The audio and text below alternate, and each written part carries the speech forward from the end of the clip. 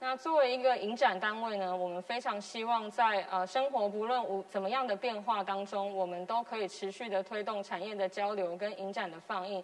所以今天也非常高兴，高雄电影节今年能够在这边跟大家见面。那我想呃，首先我想要代表电影节的团队，感谢几个在这一路上。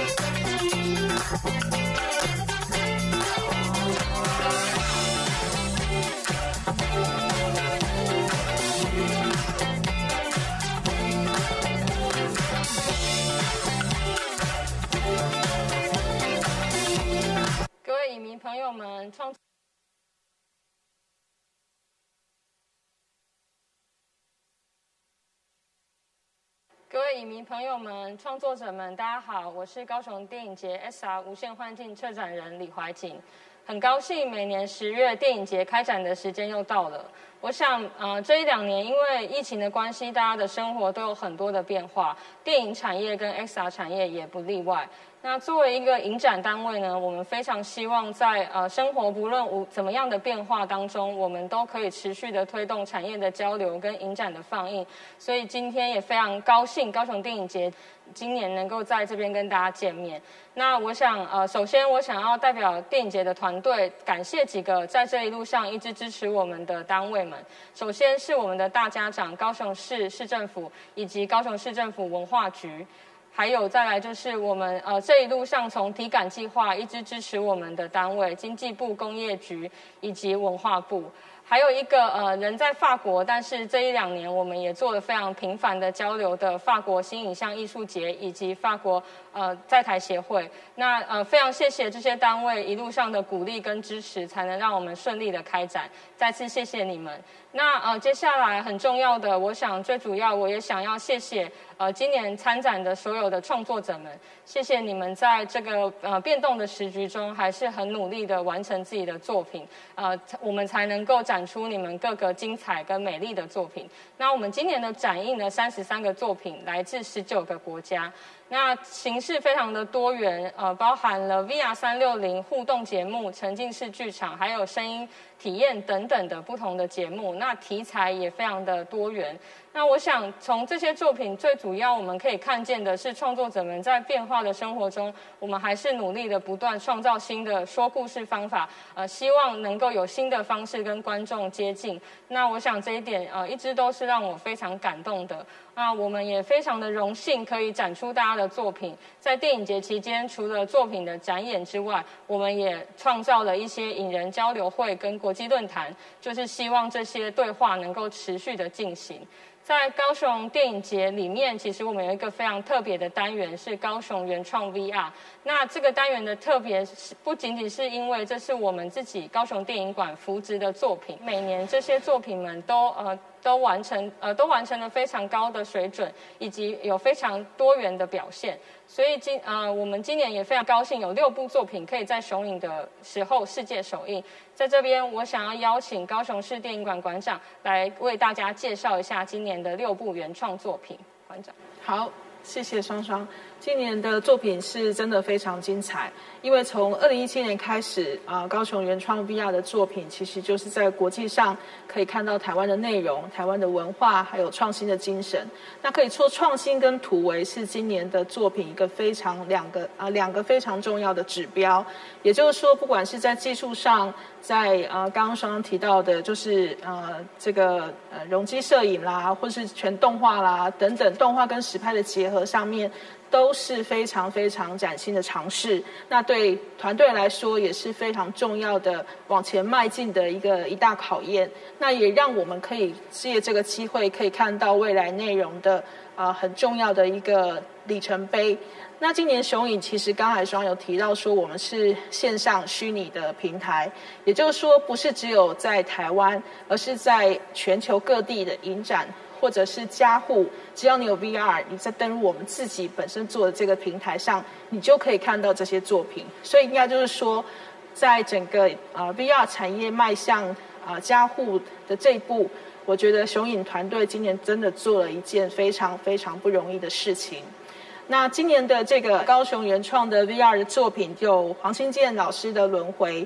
呃，老师其实在今年的这个国际上面的奖项大大小小，其实应该算是很少国际了。那今天回到雄影来做首映，其实最主要是透过这个轮轮回转世的这个概念，把它加以科学化。那其实透过这个作品，也让观众去思考，就是人类的起源，然后再找寻所谓生命存在的意义。那另外一个作品是黄丹琪导演跟 Morgan Omer 的《女海盗：成名之路》。它讲述的是清朝的郑一嫂这样一个女性，在这大的时代里面，在充斥着男性的这个海盗船的这个呃氛围，其实是为了生存，她激发她的勇气跟她的力量。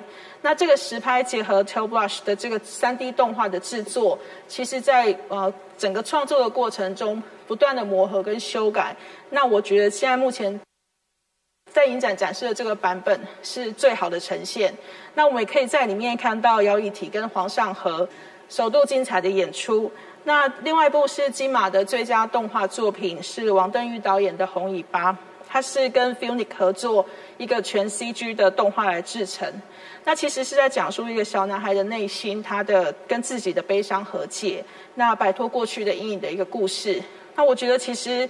啊，这个作品它从一路以来的发展，它都是一个企图心很大的作品。那这次在影展里面的展出，是一个非常完整，而且是非常动人，也非常相对来说是非常悲伤的一个故事。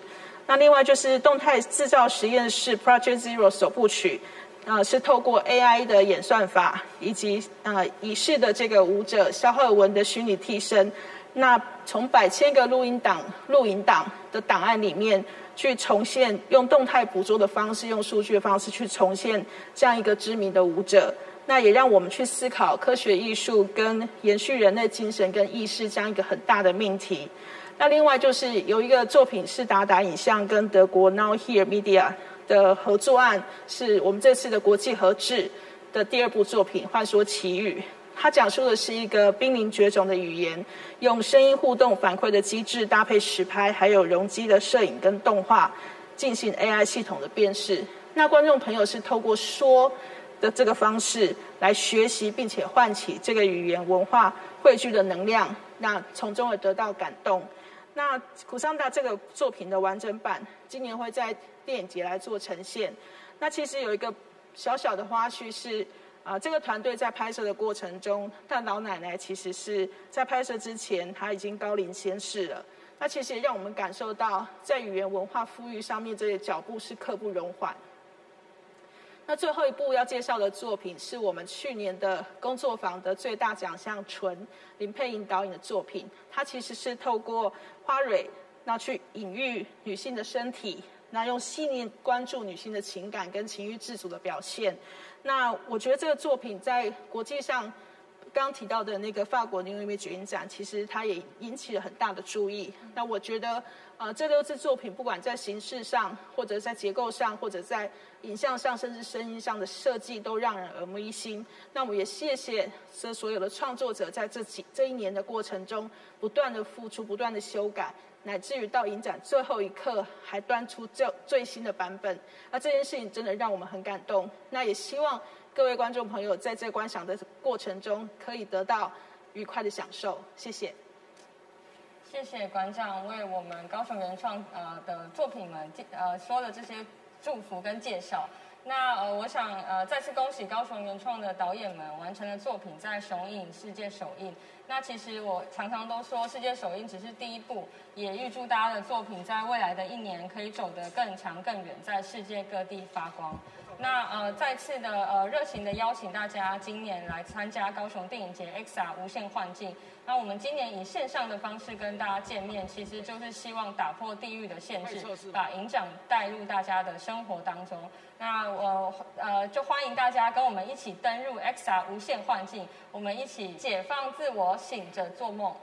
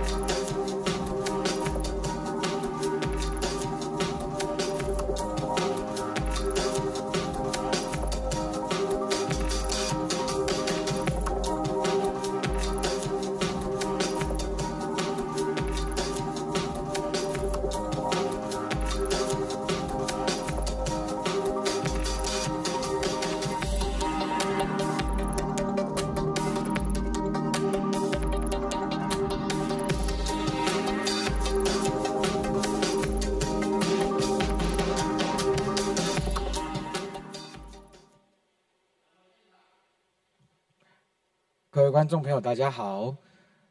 谢谢馆长刚双双呃李怀瑾刚关我们原创影人分享会的致辞，那我相信所有的原创剧组都有收到他们满满的祝福，呃非常开心。我是今天的主持人，也是 VR Film Lab 的 VR 制作经理洪武，那非常高兴今天能够来担任这一场 VR 影人分享会的主持人。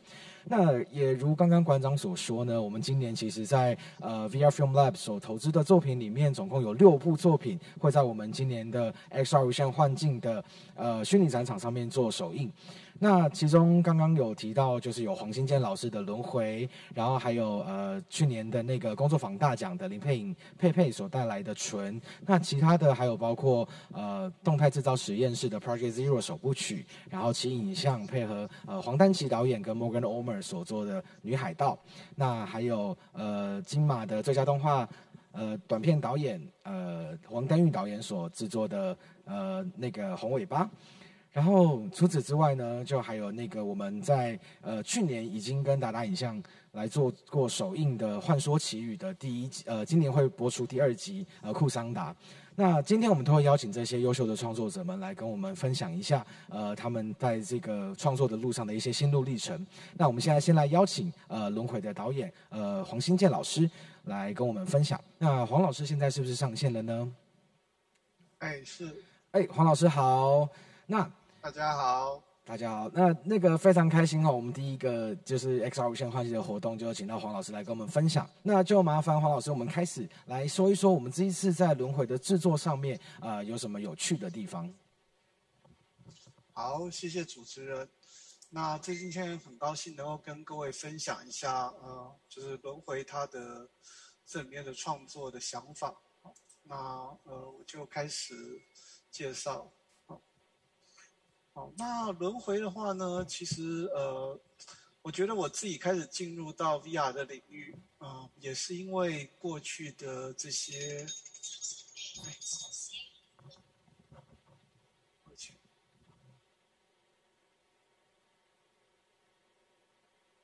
哎啊，抱歉，我要分享画面，稍微等我一下。好，没问题，慢慢来。对，因为现在其实从去年开始，就因为疫情的关系，我们非常呃熟悉这样子线上视讯会议的操作。那呃也为了让各位呃影迷朋友们可以在更直接的从直播上面来呃跟这些呃创作者们有所交流，所以我们就是会使用这样直播的方式、串流的方式。那有一些些技术的问题，也请大家多多包涵。那呃，XR 无线幻境的虚拟展场呢，其实已经呃于今天上午十点的时候正式开放了。不过实在是还是要大家呃跟大家说声不好意思，就是呃有非常多非常多的技术问题，我们正在排除当中。那我们也正在帮每一位观众进行呃所有的问题排解。如果有任何问题，都可以上我们的客服呃平台来做询问。好，我们黄老师是不是回到线上了？哎，是。好，那我就把麦克风交给黄老师。好。那呃，在呃我自己在创作 VR 的过程中，啊，其实也要从我自己的背景讲起了。呃，我在一九九七年到九九年的时候，其实在呃做蛮多的这些呃电玩游戏的开发这样子。哎，那呃这些大概是我的背景。那另外的话呢，也在做一些像是呃科技艺术的创作这样子。那还有就是像过去的话呢，呃，像是这些大型的博览会，呃，或是像是呃一些公共艺术的创作，啊，对，那呃，所以我在做呃这些的话呢，也有像是做动作捕捉的表演，啊，那还有说像是呃在国外的话呢，也做过蛮多这些新媒体艺术的展演，啊。那里面很多都是互动式的，啊，还有另外一个呃，我自己曾经有做创作的话呢，大概就是说像是呃这些呃线上的，或者说是在那个呃怎么讲，像是这些大型的演唱会里面做这些视觉的呃这些设计，所以呢，嗯，其实各位看到这样过去的这些呃创作。我后来发现说，它可以在 VR 里面把它给整合起来。所以像我过去做的游戏，它可能是属于互动媒体。那还有像是说是沉浸式的投影啊，或是装置艺术、表演艺术、舞台设计影、像等等，这些其实通通都可以呃在这个呃 VR 里面呈现出来。好，所以呢，呃，在这边。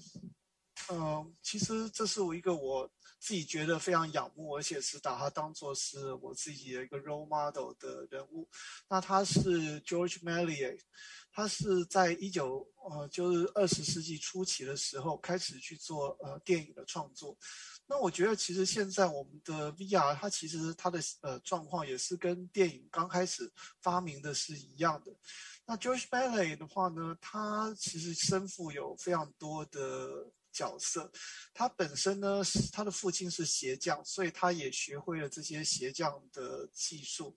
那他早年的时候也在他父亲的鞋厂工作。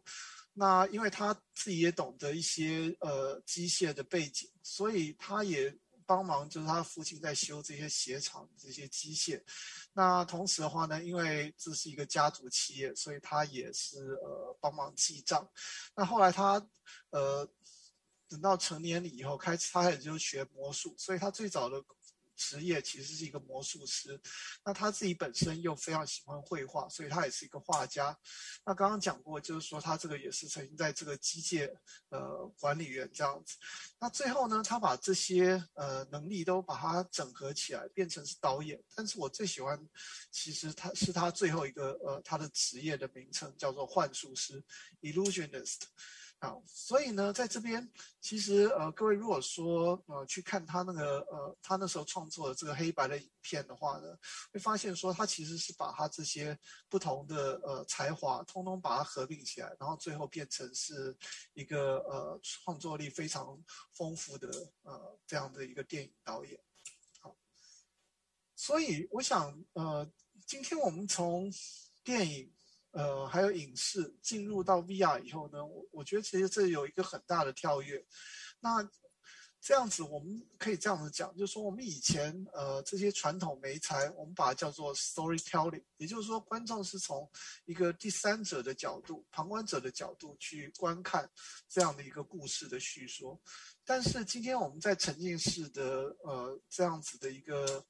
呃，媒体的时候，我们其实变成另外一种方式，我们把它叫做 story living，就是说我们是活在故事里面这样子。所以这个是一个我们从呃传统媒体走到呃沉浸式媒体，还有互动式媒体一个最大的一个差别这样子。如果说我们这样子来看，好，我们回顾一下我们过去的这些媒体，呃，如果说我们今天在一九二五年的时候。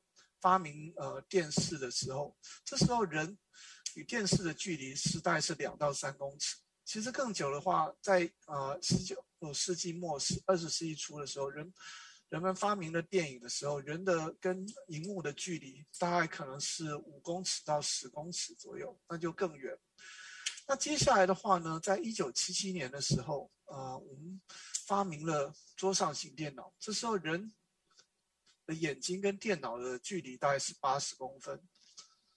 然后呢，当我们发明了笔记型电脑的时候，这时候距离就剩下六十公分。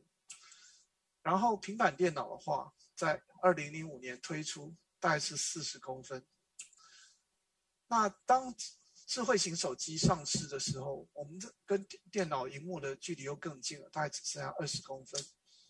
那在今天我们的这个 VR 的呃。媒体里面，其实我们跟电脑的荧幕的距离大概只有三公分左右。那这到底代表什么呢？其实这代表是说，我们其实跟虚拟世界呃的距离越来越近。我们其实人渴望说，我们可以持续的跟这个虚拟世界互动，甚至是说我们可以活在虚拟世界里面。所以，各位如果看到这样子的一个人的眼睛跟荧幕的。距离的趋势的话，你会看到，就是说，我们其实是有点像是我们自己想要把我们自己挤进，呃，这个电脑荧幕，就像是贞子进入了这个电视是一样的啊。所以有这样子的一个呃趋势的概念以后呢，那其实我们今天呃在创造轮回的时候，我自己的想法其实就是说，希望用 story living，就是活在故事中这样的一个概念，开始去做创作啊，轮回它的一个概念。那在呃这次呢，呃轮回也获得了呃国际上面相当不错的回响，像是呃创意里面最重要的一个盛事西南偏南里面，我们也得到了评审团的大奖啊。那或是说像是坎城影展啊里面，我们也得到了这个最佳 VR 的叙事。那同时我们也入围了呃像是这个呃。这个威尼斯影展里面啊，这次的这个展演，好，那所以轮回的话呢，它其实也是代表说，在我呃一系列的 VR 的创作里面，开始去探索说，这个所谓的 story living，还有就是具身认知啊，这是一个呃在认知心理学里面它的一个呃非常重要的一个理论这样子。那同时的话呢，我们希望说，在呃这样子的呃轮回的体验里面，我希望说观众他其实可以去变成是呃不同的呃人，或是不同的生物。所以轮回它是一个呃非常呃长的一个故事，它像是一个科幻的呃一个旅程。那像是佛家的六六道轮回，那在。这个故事里面呢，它发生在不远的未来。那地球是因为人心的贪欲过度了耗损，那引发了这些资源的匮乏，人们开始去彼此去斗争，然后去抢夺最后的资源，最后整个地球毁灭，而我们被迫逃离的地球。那所以人类在宇宙中流浪，去寻找新的家园。但是当他们找到这个新的家园的时候，其实他们呃不知道是他们其实是跳跃到了呃过去的时空中，到了过去的地球，而他们变成了呃另外一种生物啊，也就是我们现在的鲸鱼，而被人类的祖先猎杀。所以轮回它是一个呃梵文，它是一个思想的理论，它是一个不断的在循环呃这样子的一个概念。而我觉得说我们今天呃在 VR 里面，呃，它其实是非常适合去解释这样子的一个概念的。像这边的话呢，大概这是佛家的呃六道轮回图，也就是说，在这边看到是，其实我们可能会变成不同的人、不同的生物，去体验这整个时间跟空间中，呃，我们希望去了解的道理。那刚刚有讲到说，像具身认知，呃，它是一个呃，去讲说，我们其实不同生物里面，呃，它为什么有呃不同生物有有这种认知上的差异？有很大的重点是说，我们今天因为我们有不同的肉身，在过去我们认为说，我们的意识跟我们的肉体是分别开来的，也就是说，他认为说，呃，或者过去的的思想啊，是认为说，我们今天。即使我们附身到了不同的物种，但是我们的思考应该还是一样的。但是呢，具身认知认为说，我们今天可能因为我们的寿命、我们的眼睛的视觉、我们的听觉等等不一样，所以我们其实整个的对这个世界的认知，还有我们的思考方式都会有天翻地覆的差别。那举个例子，就像是我们今天男性。因为我们有男性的身体，所以我们会思考，会以男性的角度来看。那女性也是一样，这样子。所以在轮回的核心体验，我们就希望说，其实是让观众去体验，或者是用这种不同的身体，然后透过 VR 的方式，去感受到不同的人与不同的生物，这样子。那这边是我们那时候在初期的概念里面，我们的发想。那在这边，其实轮回它的故事也是从我呃幼年的时候的一个呃一个我自己的生命故事开始。因为像各位现在看到，其实是我的左眼跟右眼。那各位可以看到，我的右眼其实它的颜色不太一样。这是因为我在在小呃小时候在四岁的时候，呃，我曾经有呃就是角膜。受到伤害这样子，所以我的右眼那时候就开始失明了，一直到我十四岁的时候，那时候才有一个在斯里兰卡的这个捐赠的眼角膜，然后，呃，让我的右眼呃恢复了光明。所以后来我就觉得说，其实这样子的一个生命的经验，呃，让我会觉得说，其实我看到这个世界上面啊，我。大概有一半的这个世界，我看到了，其实是透过一个已经死去的呃一个人所看到的，甚至我会认为说，呃，在我后来得到了这个，就是在成年了以后，我也把自己登做登记作为是一个捐赠者，呃，器官捐赠者，因为我在想说，如果说我死后啊，说不定我的右眼的这个角膜，它其实还可以继续的流传下去啊。那其实我觉得这样子的一个方式，就是说我们今天我们的肉体它是可以被分享，或者我们的视觉其实是从一个过世的人在传到我的身上。那所以这个其实也是一个 VR，我觉得它它的一个精髓所在。也就是说，我们今天呃，我的我的视觉，一个创作者的视觉。甚至听觉、还有嗅觉、味觉等等，我们的五感，我们其实是可以透过我们的科技，像是 VR 这样的科技，去分享给其他的人啊。好，那接下来的话呢，我大概就呃给各位观赏一下，就是轮回的幕后的制作的一些想法。那呃，就请呃帮我放一下这个轮回的影片。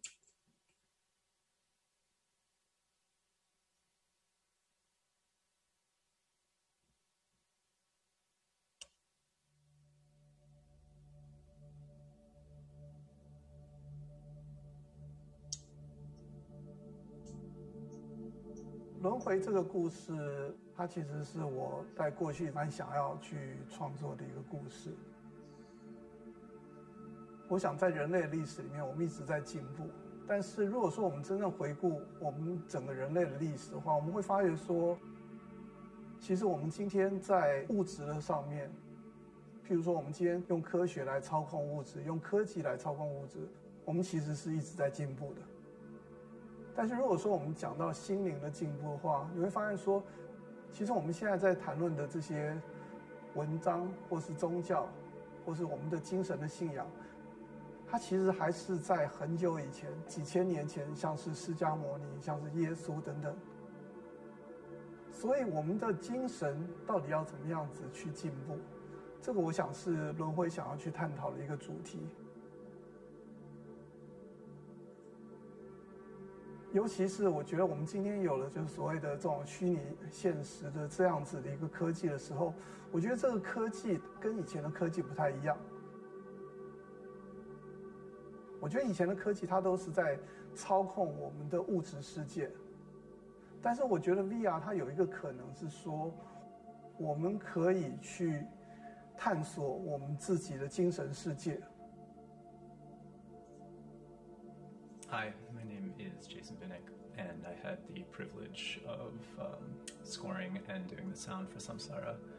Conceptually, the music came from my interpretation of the themes of Samsara, um, ideas of death and rebirth and cycles. Um, Sinshin had told me that he really responded to this idea of um, what he called memory corners in some of my old music, and that um, honored and uh, and resonated with me. And I tried to hold the, the idea of memory corners um, in the back of my head through this whole process, which was recording melodies, recording sounds, both acoustically and um, synthetically, taking them apart, deconstructing them, um, trying to blur the edges and reconstruct them in a hazy way that wasn't as precise as a typical song or um, or melody for the most part. Um, and uh, and preserve the integrity of, of the themes through through the music. Um, I hope I got there. It was an honor.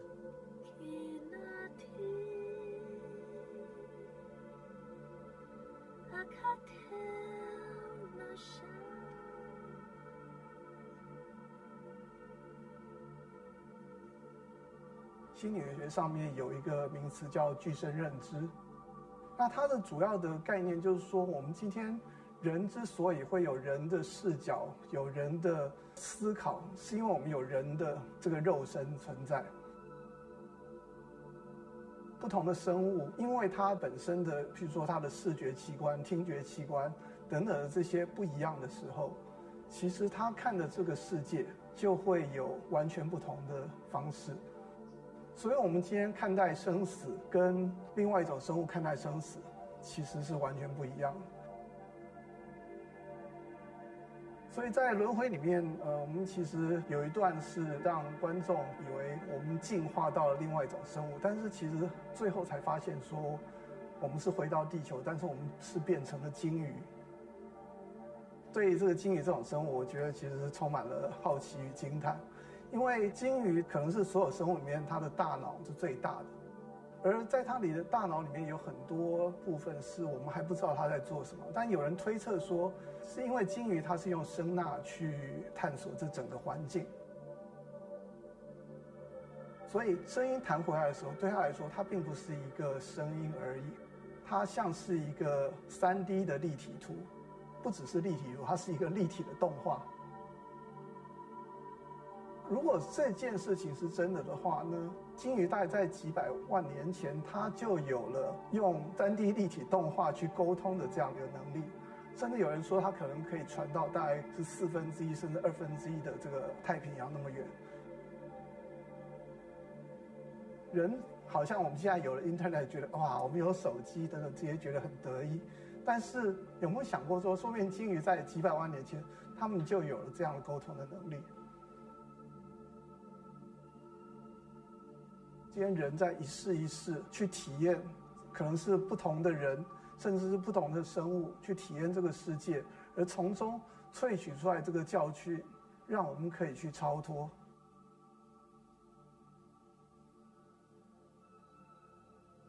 所以在轮回这个故事里面呢，就是说，它其实是让你在很多不同的人的身体里面，你可能是一个把热带雨林烧掉的人。或甚至是说，你今天可能是个自杀炸弹客，或是说你可能是一个被害者，你可能是一个在边界里面想要去进去的一个难民。所以，他让你在很快的时间里面去看，说你今天如果在不同的角色的时候，你要怎么样子去看待这个世界。而在后面的话呢，它有更大的一个跳跃，就是说，我们今天变成是一个科幻的故事，所以你今天可能是在不同的生物里面。整个故事我想要描述的就是说，我们今天在一次又一次，就是说我们人想要去前进，或者我们想要进步，我们想要去跳跃、超脱，或者离开地球，但是呢？当我们没有办法把我们自己的业所解决的时候，我们会发现说，我们每一次跳跃回来，其实都还是回到了原来的地方。所以在轮回的最后，我们今天必须要去了解我们自己本身的存在，才能够帮助我们真正做更大的一个超脱，而真正不是去离开，而是去理解，而去包容。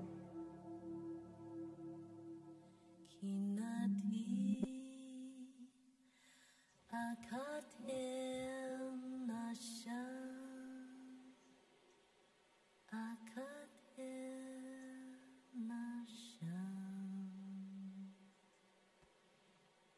非常感谢黄老师的分享。那这边因为时间的关系，还是有一个小小的问题想要问黄老师哦。因为毕竟这一次的作品主要是轮回嘛。那刚有提到说，如果肉身只是精神的载体的话，那我想问黄老师一个问题是说，你最希望成为的载体是呃什么样的东西？什么样的动物，或是什么样的存在呢？啊。其实，如果可以变成鲸鱼的话，我蛮想要变成鲸鱼的。啊，谢谢。了解了解，好，非常感谢黄老师的分享。那我们就先请黄老师下线。那我们准备来欢迎下一个剧组。谢谢黄老师。好，谢谢，谢谢。非常精彩哦！这一次的轮回其实已经在呃国际轮轮回的上集呢，已经在非常多的国际影展呃崭露头角，而且非得到非常多的呃赞赏。那也入围了那个威尼斯影展坎城的 VR 市场展等等。那接下来我们要来欢迎的呢是呃动态制造实验室，也就是我们今年高雄原创 VR Project Zero 首部曲的呃制作团队。那这个呃工作室我真的觉得他们非常有趣，而且他们今天非常非常大阵仗哈。就听说为了这个分享会，他们还特别塞了一个景，这样子就是。要要要要来跟我们一起做一个高品质的直播分享，这样。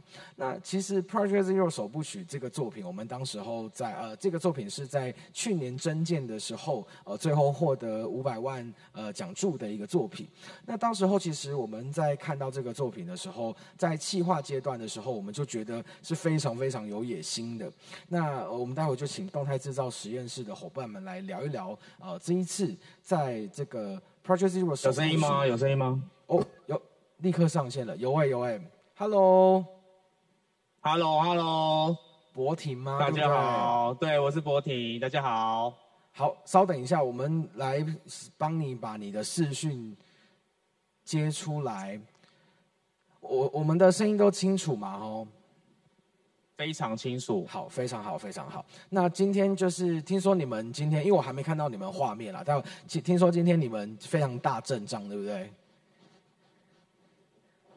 你你们目前那边有有几位伙伴一起要来？我们目前五，我今天五个人哦，你们五位是不是？了解了解，好，那你们自己掌握一下时间了哈，就是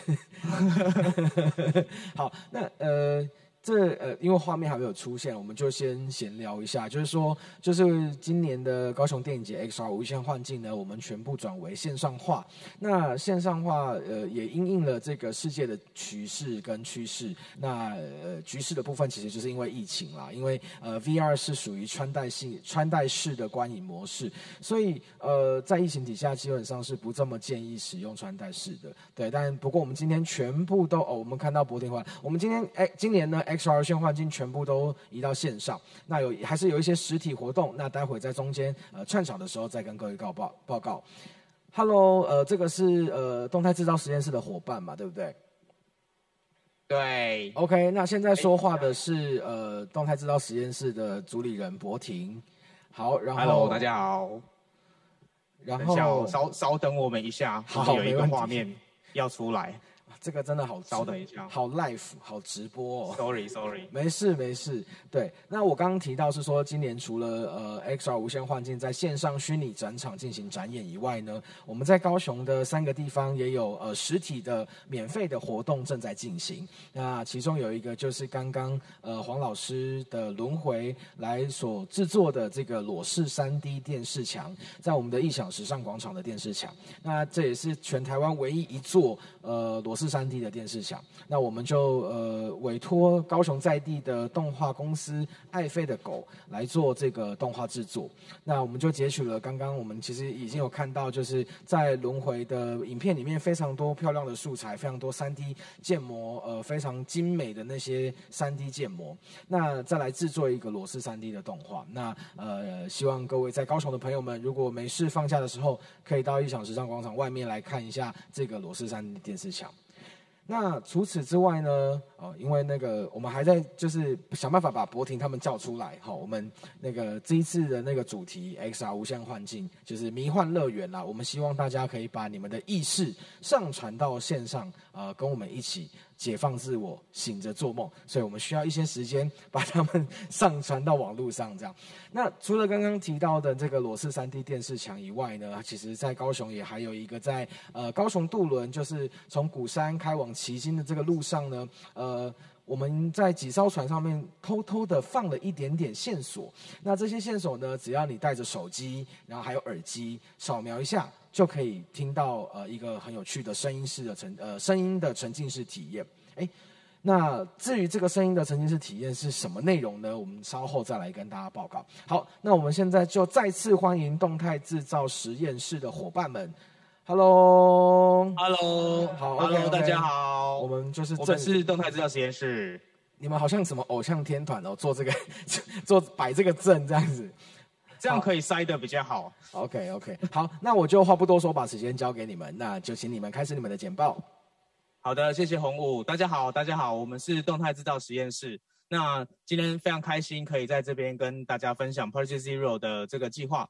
那呃，就像大家看到的，现场有我们呃实验室参与呃这个计划的团员们，包含我本人，还有不同面向的工程师们，还有执行制作，大家在这边呃。接下来我们会呃依序分享在这个计划中呃各自所参与的内容和创作的过程。OK，那动态制造实验室是由不同专业领域的成员所组成的。那在这八年之间，呃，我们持续关注呃社会设计的创作核心，然后关呃关心科技、自然跟人文之间的关系，然后在在之间探索。那在社会设计的计划，还有呃各种新媒体艺术互动装置，还有各种。呃，技术的开发、整合等等。那其实我们希望可以能够没有框架的，在各个领域之间发现，还有融合出新的可能性。那呃，这一次的作品 Project Zero，呃，代表一种归零后的另一个虚拟生命的起始点。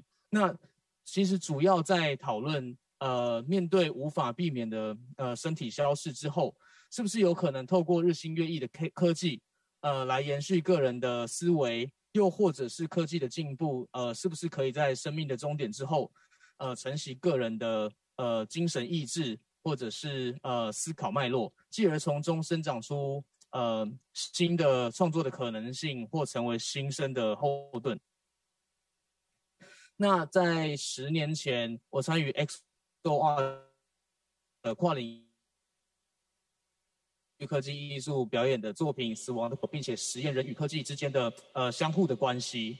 OK，那在当时的作品中，我们用呃 Kinet 红外线呃矩阵的感测器去捕捉呃舞者的姿态，然后让呃电脑记录并呃尝试了去推算出舞者在表演的当下即将要做出的动作，就让电脑去猜测。那在排练的过程中，花了很多的时间啊，呃，反复来回测试。在当时，呃，电脑有限的呃运算能力之下，开始有类似一种模糊的类似演算法的一个轮廓。那回想起来，呃，当时好像就已经在尝试一个类似机器学习或者是 AI 的概念。那十年后的今天，日新月异的科技的推进。或我们我们其实有更好的运算能力，相较于十年前更友善的操作界面，更多网络上开源的资源。那再加上有很多新的技术，像呃比如说 3D 扫描啊、动作捕捉啊、VR、AR、MR 等等，呃这些新的技术也逐渐变得越来越普及。所以呃让 Project Zero 这个作品可以有呃更多、更更丰富、更多元的呃展现的方式。那对我来说，呃，这次的主角赫文是融合各种东方元素的传奇性舞者，同时也是非常好的朋友。在二零一八年的时候，得知他离开的消息，那我相信很多关注他的朋友都是非常不舍的。那所以这一次 Project Zero，我们邀请数位的赫文来参与这次的作品，这是一个一段呃，在做追寻、在拼凑、在演算、在重新梳理脉络的一个过程。那在创创作的过程中，呃，我觉得充满了意义，同时也遇到了很多的挑战。但我们得到了呃很多很多的支持，包含赫文的姐姐提供了很多的资料。那在资料中记录了许多呃他创作的想法，以及呃曾经跟赫文一起合作、一起工作的伙伴加入在呃这个 project 里面。那在技术的部分，我们通过呃固态记忆的 lidar 地景扫描呃的技术，那一一的走访，从呃赫文从小到大长大的老家，然后经常来往穿梭的小巷子，到演出的殿堂，一一的用点云做记录，再重新融融合，呃，透过城市，透过呃 VR 的显视频。转化成另外一种班一起加入，包含呃在这一次呃制作的过程中，呃呃乐师苏慧，就是他是非常善于呃南管乐的各式的乐器。那他在观看到 VR 影像之后，呃做出的即兴，我们再重新录制混音成呃有具有南管乐跟电子乐混合在一起的呃一种。呃，新形态的一种呃音乐的形式，或者是在呃声音特效、声音场景的新的形式。那又或是呃舞者呃方美，还有宜山，还有呃素君老师，呃都一起加入。那同时我们也非常感谢呃汉唐乐府国家两厅院，还有呃云门文化艺术基金会，还有在地实验的支持，才能让呃科技人文呃相互交融出一种呃对我们来说是新的风格。那也是因为这样的作品，我们走了这一招。呃，我们希望在这个融合的过程中，可以展现出呃作品的一种一种温度。对，那在 Purchase Zero 首部曲中，呃，我们非常期待体验者可以跟我们一起踏上一段搜寻数位足迹的旅程，拼凑出舞者的生命历程和呃创作的轨迹，那共同参与一场呃具有非常实验性质的感知的体验。那接下来有很多技术的部分，我们就请。呃，相对应的工程师来分享一下他们在创作过程中的一些心得。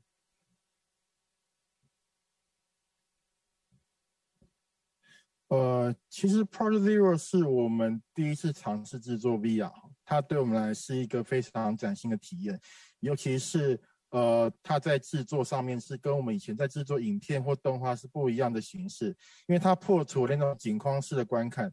以往在景框式的这种观看里面，你可能会把很多东西藏在景框外面，但是在 VR 的环境里面，你必须要去了解说你的前后左右上下方位各是什么。尤其在一个可以走动的 VR 环境里面的时候，它又是一个很大的挑战。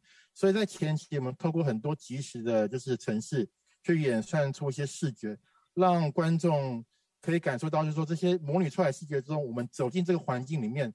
我们可以感受到什么样的变化或什么样的就是感受这样子。那其实后来就是在 Project Zero 里面的就是每一个的场景，就是几乎都是大部分都是由城市去建构出来的。可以看到这是一个就是其中一个效果的一个就是的一个小的一个城市片段。那就是透过这些大小城市片段去拼凑出来一些场景之后呢，我们可以很快的去调换这些。比如说前后的顺序跟场景的位置，那我们就可以在就是不同的场景之间呢去做切换这样子。那其实另外在 VR 里面另外一个问题，其实就是它的沉浸感。所以我们在 VR 环境里面其实会有做一些包括声音的大小、好方位的转变。那透过这些方位的大小跟衰减呢，我们可以让观众在这些就是环境走动的时候呢，可以感受到声音的距离。或者甚至说他在这些场景面的穿梭的时候呢，可以感受到声音是往他这个方向，就是直接的那个奔驰过来这样子。那这也是我们在就是创作过程里面最常会去就是想要让观众去体验跟实验的方式。那其实，在整个过程面，我们不断的经历的就是改版跟重组这样子。有时候可能是呃，我们觉得就是前面的东西就是觉得不够好，所以我们就全部重做这样子。那这个是一个。对我们来说是一个非常大的挑战，因为但是，但最后的呈现出来的结果其实是好的，就是非常感谢我们很多团员不 不不眠不休的努力这样子。那所以接下来我们就会把就是我们制作的方向导向到更另外一个更深层层次，还有更更深的内容这样子。那我们就请我们的那个另外工程师来我们解说一下接下来要发展的方向。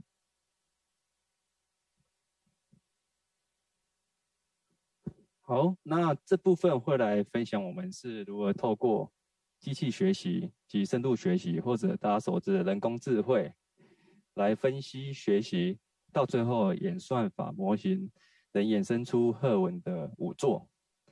那为了实现这个目标，我们分成三个步骤：第一，资料的收集和验证；第二，演算法模型的设计及优化；第三，模型的部署及应用。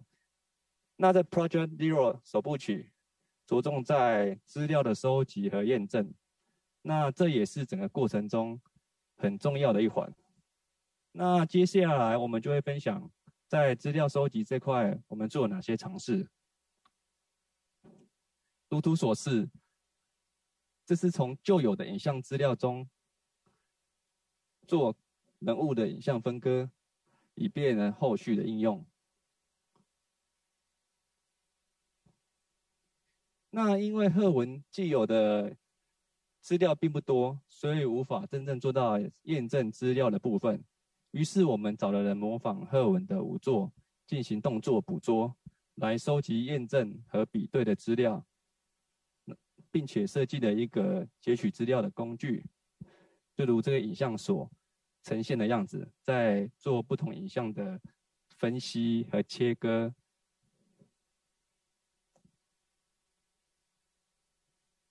那在完成上述的步骤之后，我们就可以利用生成对抗式网络来做资料的测试。那什么是生成对抗式网络呢？这个演算法模型从字面上来讲，生成代表衍生出资料，对抗代表验证资料，透过这样来回的过程来增强神经网络的能力。那大家现在看到这个动态影像。所需费的时间大概要十几天左右，那中间偶尔遇到一些宕机或者参数调整上，然后而重新启动演算的过程，所以这过程是非常花费时间和硬体的资源，尤其现在显卡是几乎是买不到状况之下，这是非常难得的。那在进行完生成对抗网络的生成之后。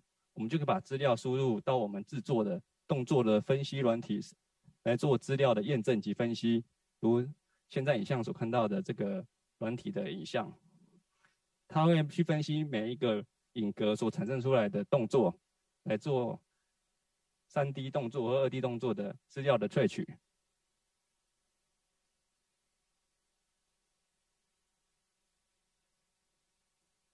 好，那。在往后应用中，我们可以把演算模型套用到不同的领域，如这个范例中，让一段影像可以模仿演算模型的动作，但但这只是一张 2D 的影像。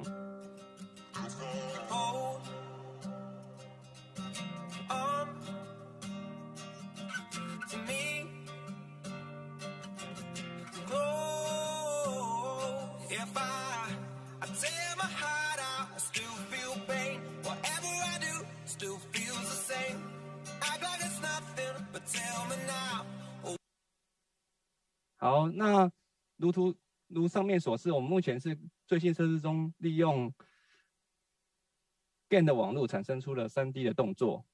那如图这样如这样动画所示，我们目前是成功的利用旧有的资料产生出一张 3D 动作的示意的影像。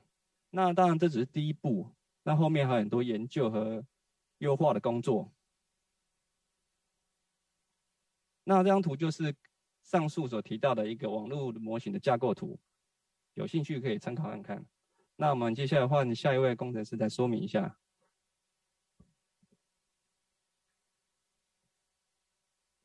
好，那就是做如前面我们所有伙伴大大的阐述，那整个。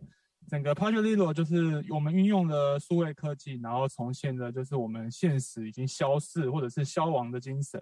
那我们在打造整个 VR 沉浸体验的过程中，我们就是运用了尝试动作远散这个技术。那也希望我们未来可以在运用我们演算出来的新的新资讯，然后可以发展到更多不同的新的创作啊，又或者是让不同更多不同的媒介可以使用，例如是现在 AR、MR。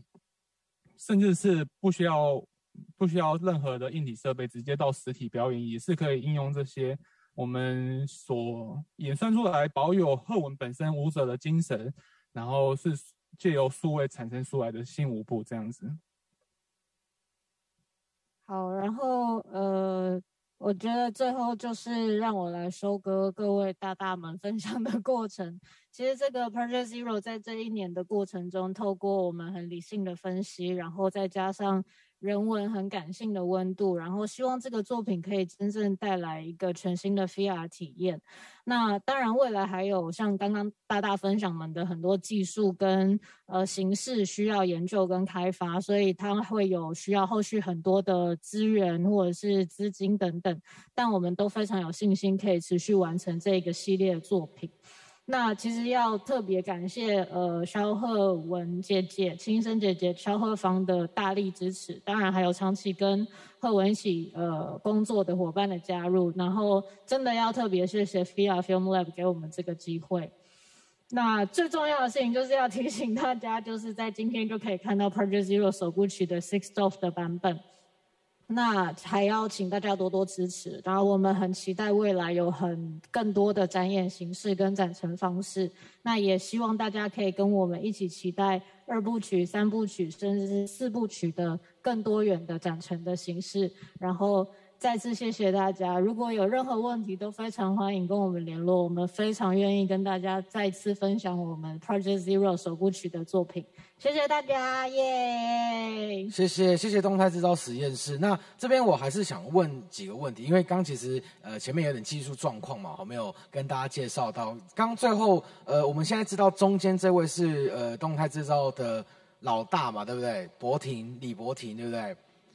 嘿，我们我我就快速的介绍一下各位的各司其职所执掌的内容是什么好了，好不好？然后介绍一下自己的名字。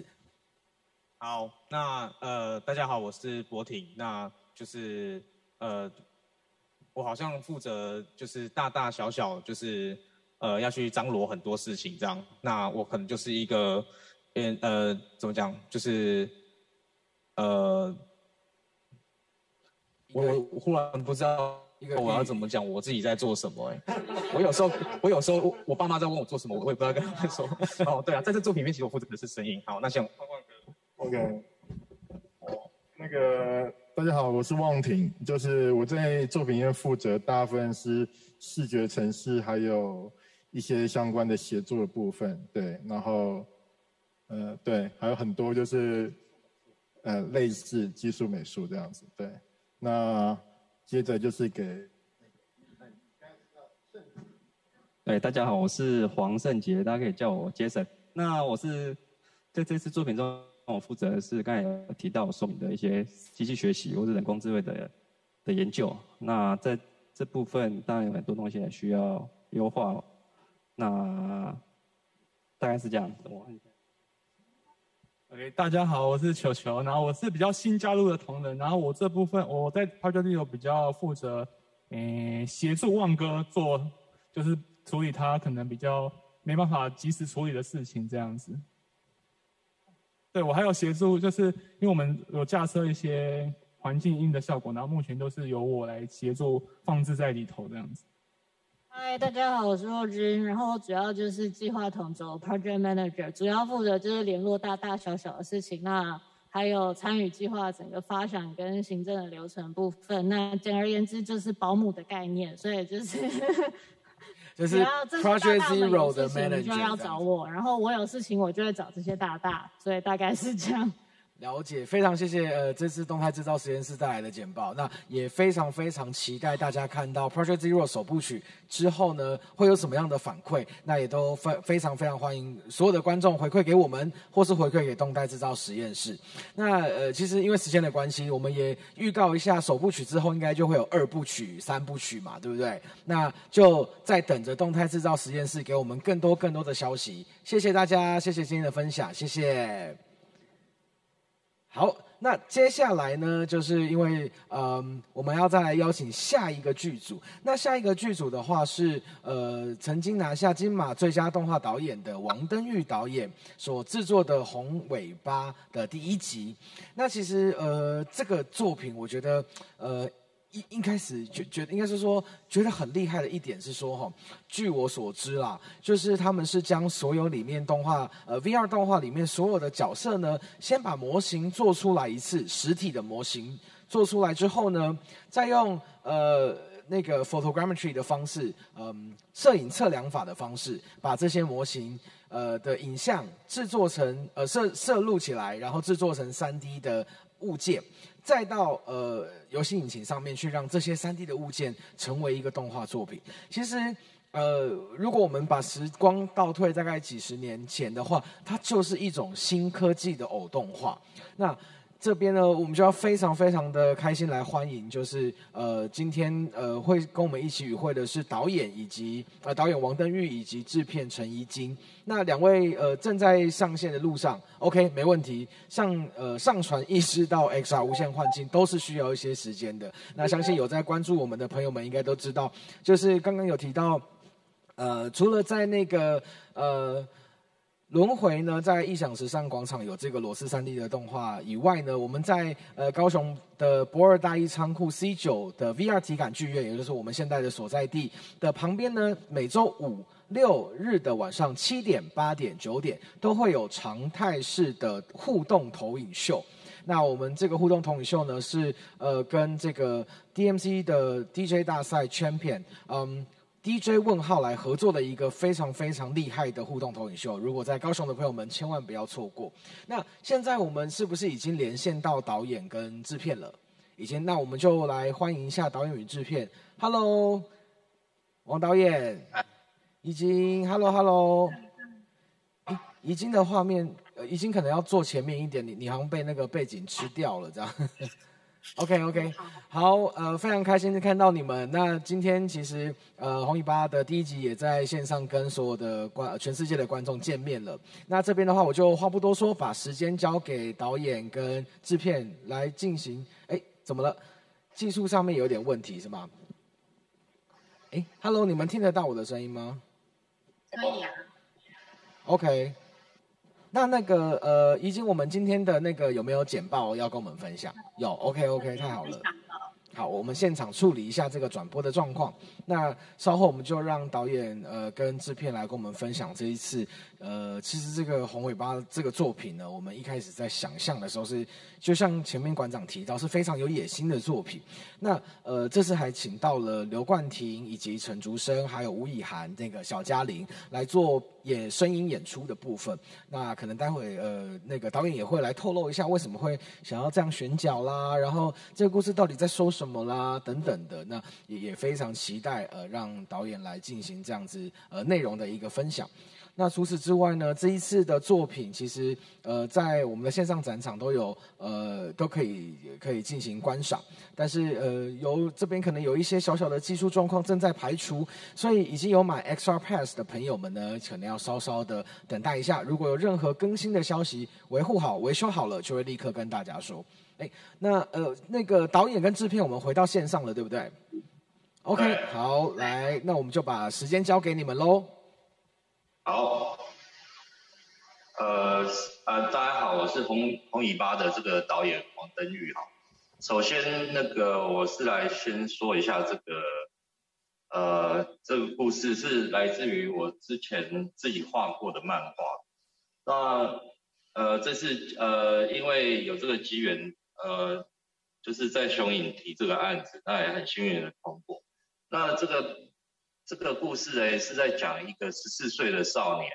那嗯，他呃好像呃在一个旅程中忽然醒来，然后在在问问说，哎，问自己说，我为什么会一直在这个旅程当中？他好像仿佛也失忆的，但是他心心中一直有个印象，说他是在呃有一个红尾巴一直在，好像在在呃召唤着他，然后他就一直追寻这。个红尾巴。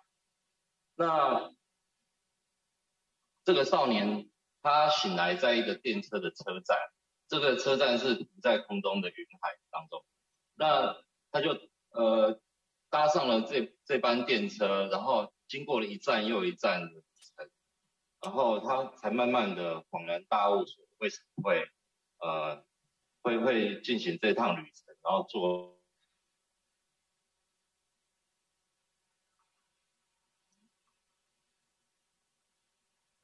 Hello，导演还在啊？是不是网络有一点点状况？已经还在线上吗？好像是在线上。OK，那已经可不可以先帮我们哎看一下？哎，导演回来了，我看到了，导演在动了。是，有有有，好，导演请继续，不好意思，刚刚网络可能有点问题。好，那刚刚说的有有大家都有听得到吗？呃，刚有听到，就是您说到关于制作这个电车这样。然后就就卡住了，没事哦。哎，对，好，就是说，呃，其实这个这个发想的原原因，就是来源是来自于说，我们常常在说人生是一条路嘛，然后也是一段旅程。那这个小男孩就就像他他在回顾他自己的人生的一些阶段的时候，他搭上一段呃电车的旅程，然后呃他我们人生中经过遇到的人事物嘞，都是在这个一站一站的上车跟下车之间，呃透过魔幻魔幻的方式，然后把它呃做寓言故事的方式这样呈现出。那大家可以在这个故事当中看到很多。呃，非常非常奇幻的元素，然后而且这个是可以对照，呃，对照到我们自己，或者说我们自己成长历程当中一些呃曾经遇过的一些喜怒哀乐这样。那这次我们呃是透过呃实体模型的的的扫描的技术，然后把它做成是一个仿佛像偶动画的这样的效果。呃，然后当初这个刚刚呃刚刚有提到说，主持人提到说这个配音，配音这次会选选角呃选择这个刘冠廷，然后陈竹生跟呃以涵哈，刚好以涵跟主生就是他们在呃这个诶《熟女养成记》，大家都有目共睹，他们的默契非常好，然后是演一对。妇女，然后呃是非非常非常呃具有就是有有感人的又有喜剧的效果。那正好这个通常在配小男生，呃我们大部分都会直接觉得说找找呃年纪相当的小女生，这个声音配起来会比较呃活泼一点，因为大概在十四岁的年这个小男生应该都会声音开始变得比较沙哑。或者说比较粗一点，那反而是一个小男生，呃，一一一个小女生来配，她其实是会会有个很圆润、很活泼的笑。那呃，这次这个旁白是由刘冠廷来配嘛？那冠廷他的声音其实是非常非常的有有厚度，虽然是很年轻，然后这个是一个独白，这个其实是呃这个。主角其实就是这个小男生，好像他长大之后回之后，呃，对自己这段历史的独白。那，哎，我们经过这个录录音过后啊，在再配上影像之后，发现哇，这真的这次的选择真的完全没有错。哎，那后面的一部分就请制片曾经来帮忙介绍给大家。可是导演，你其实都讲完了耶。已经，那不然我们来分享一下，就是说，因为其实已经之前跟导演一起合作过《金鱼》嘛，就是也拿下了呃金马的最佳动画短片奖。那这次在制作 VR 上面，不晓得已经呃有没有什么样的心得？就是说，毕竟你们也是第一次做 VR 嘛，那在这个媒材的制作上面，呃，跟过去不同的媒材有没有什么样呃困难啊？然后你们如何解决这样子？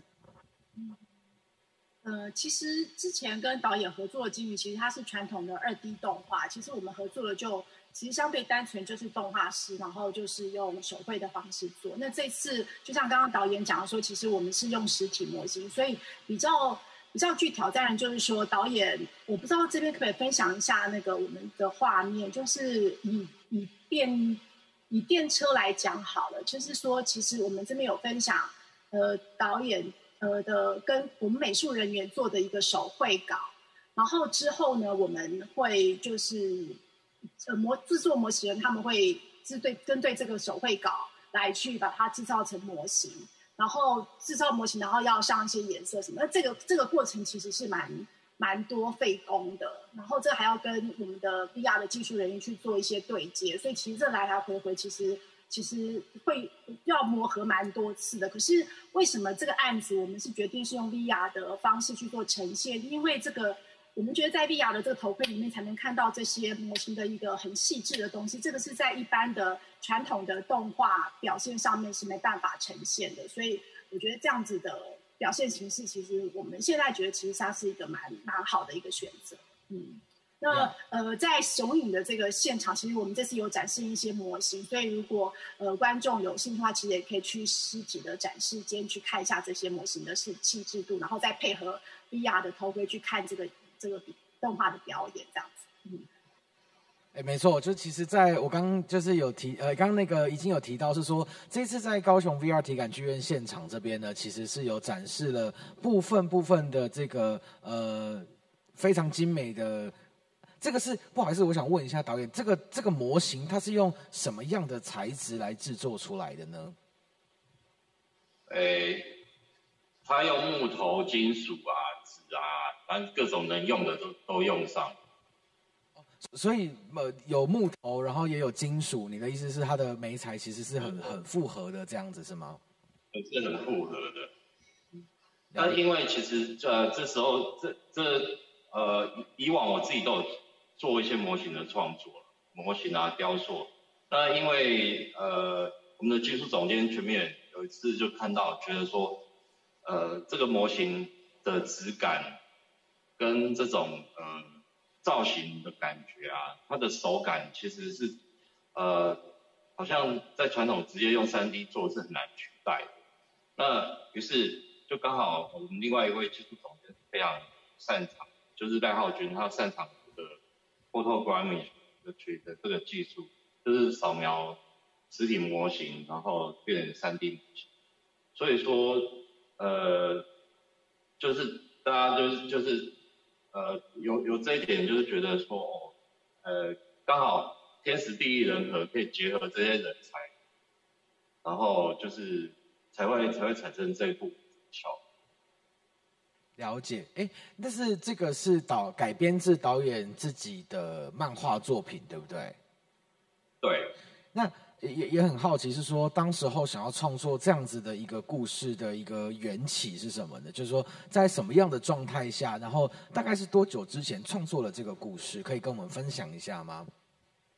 好，呃，这个故事是大概二零一四年时候做的一个短篇漫画，它其实只有二十四页。那这是因为呃这个 VR 故事的篇幅的关系，然后我们又加入了很多奇幻的元素，就是很多呃新的情节在里头。那他原本是在讲一个十四岁的少年，那虽然就是以呃可能等最后呃明年大家可以看到完整的结局的时候，会知道说这是一个悲伤的故事。那呃这是回顾自己我我们自己成长过程当中。十四岁是一个很尴尬的年龄，就是我们俗称就是转大人。转大人这过程当中，呃，他要多愁善感，然后会经历多的呃人生的起起伏伏，就是会有打击啊，然后会有一些不不如意。那呃，我觉得最主要这个故事是希望呃，还是希望为这些呃呃受过打击或者说觉得很辛苦的人啊。呃，带来一些温暖，所以最后，呃，其实是有一点为这些过程来来带来一个救赎的感觉。但现在因为结局还没有还没有完成，所以先不要透露。好，那我们就先不报了，不剧透了哈。那这边的话，就是其实我我也非常非常的想要呃了解，就是。在这样子的编排之下，我想问一下，已经是说，在呃，因为我们知道在 VR 的操作上面，其实很长时候，如果一个故事。它的篇幅太长，然后呃很多的制作的团队们呢都会把它分成呃第一集啊、第二集、第三集。那呃想要知道就是以及你们这样子的把它切开来的用意啊，以及有没有什么可以透露给我们一点点，就是说在下一集我们会会有什么样的感受，然后以及你们未来会希望呃有没有呃可能会有出版的可能性啊，或是说有做成短片的可能性呢？这之类的其他媒材的可能性。嗯，这个部分其实因为感很感谢那个这个高雄给我们这样子的机会去做这样子的一个片子。那其实当初我们拿到这个案子的时候，我们就是其实野心蛮大，我们会希望能够把导演的东西完完整的呈现。可是其实就刚好我们报告就是说，其实这样子的。制作过程其实它时间是非常的长。那呃，所以我们评估了以后，就会觉得说，可能我们用分分段式的方式去做呈现。这样，那在第一集的部分，我们其实场景只出现了第一场，就是除了电车内外，其实只有一第一场的场景。那其实，在下集部分，我们会有再多加三四场。所以，我觉得在整个的小男孩的这个旅程，是在下集的部分是会全部都会做呈现。那至于在呃之后的一些红尾巴的一些，比如说可以做短片或者做一些线下的这个模型的展，其实我们团队还要再讨论。其实我是觉得，如果有有这样子机缘的话，能够把它做完整呈现，我觉得是很好的。不过现在都还蛮早的，现在大家还都还在讨论当中。嗯，了解了解。看这次的这个几个几个呃几个模型的这个展示，对。了解，好，谢谢已经跟呃王东玉导演跟呃与我们的分享。那因为时间的关系，我们这边就呃再次再次的感谢呃红尾巴第一集的导演王登玉以及制片陈一金。那也非常欢迎大家到我们的 Extra 无限幻境的虚拟展场来观看红尾巴第一集。那呃接下来我们就要进入中场休息时间。那我们再次掌声呃远端的掌声，谢谢两位讲者，谢谢，谢谢，谢谢。谢谢大家，谢谢。好，那我们先进中场休息时间，我们十分钟后回到 XR 无限幻境高雄原创 VR 影人分享会现场。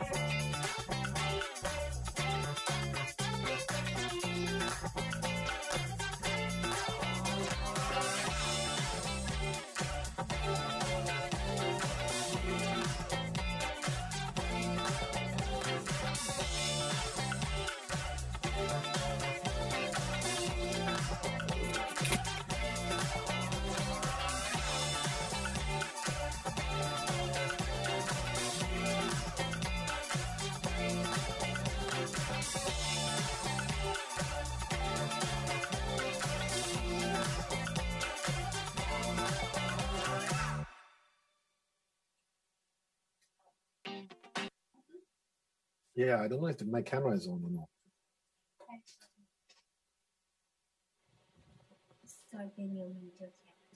It's on or not? 欢迎回到 XR 无限幻境的现场，我是今天的主持人，我是 VR Film Lab 的 VR 制作经理洪武。那非常非常开心，就是高雄电影节今年已经开展了，就是从今天开始，那从十月十五号到十月三十一号，都可以在我们的 XR 无限幻境虚拟展场线上参与体验我们所有的 VR 作品。那接下来呢，呃，今天高雄原创 VR 呃分享会进行到了下半场，接下来我们要邀请到的呃是两位导演。一位是呃黄丹琪导演，另外一位是 Morgan Omer，呃，这次一起联手制作了《女海盗成名之路》这部作品。那呃，我们看一下是不是呃丹琪跟 Morgan 是不是都已经在线上了呢？Hello。Hi，Hello，Hello，呃呃 Morgan，嗯呃，You're in Vietnam right now, right? Yes, correct. I'm in uh, in Saigon, in Ho Chi Minh City. Oh, okay. Uh, hope everything is fine over there. yeah, it's getting better.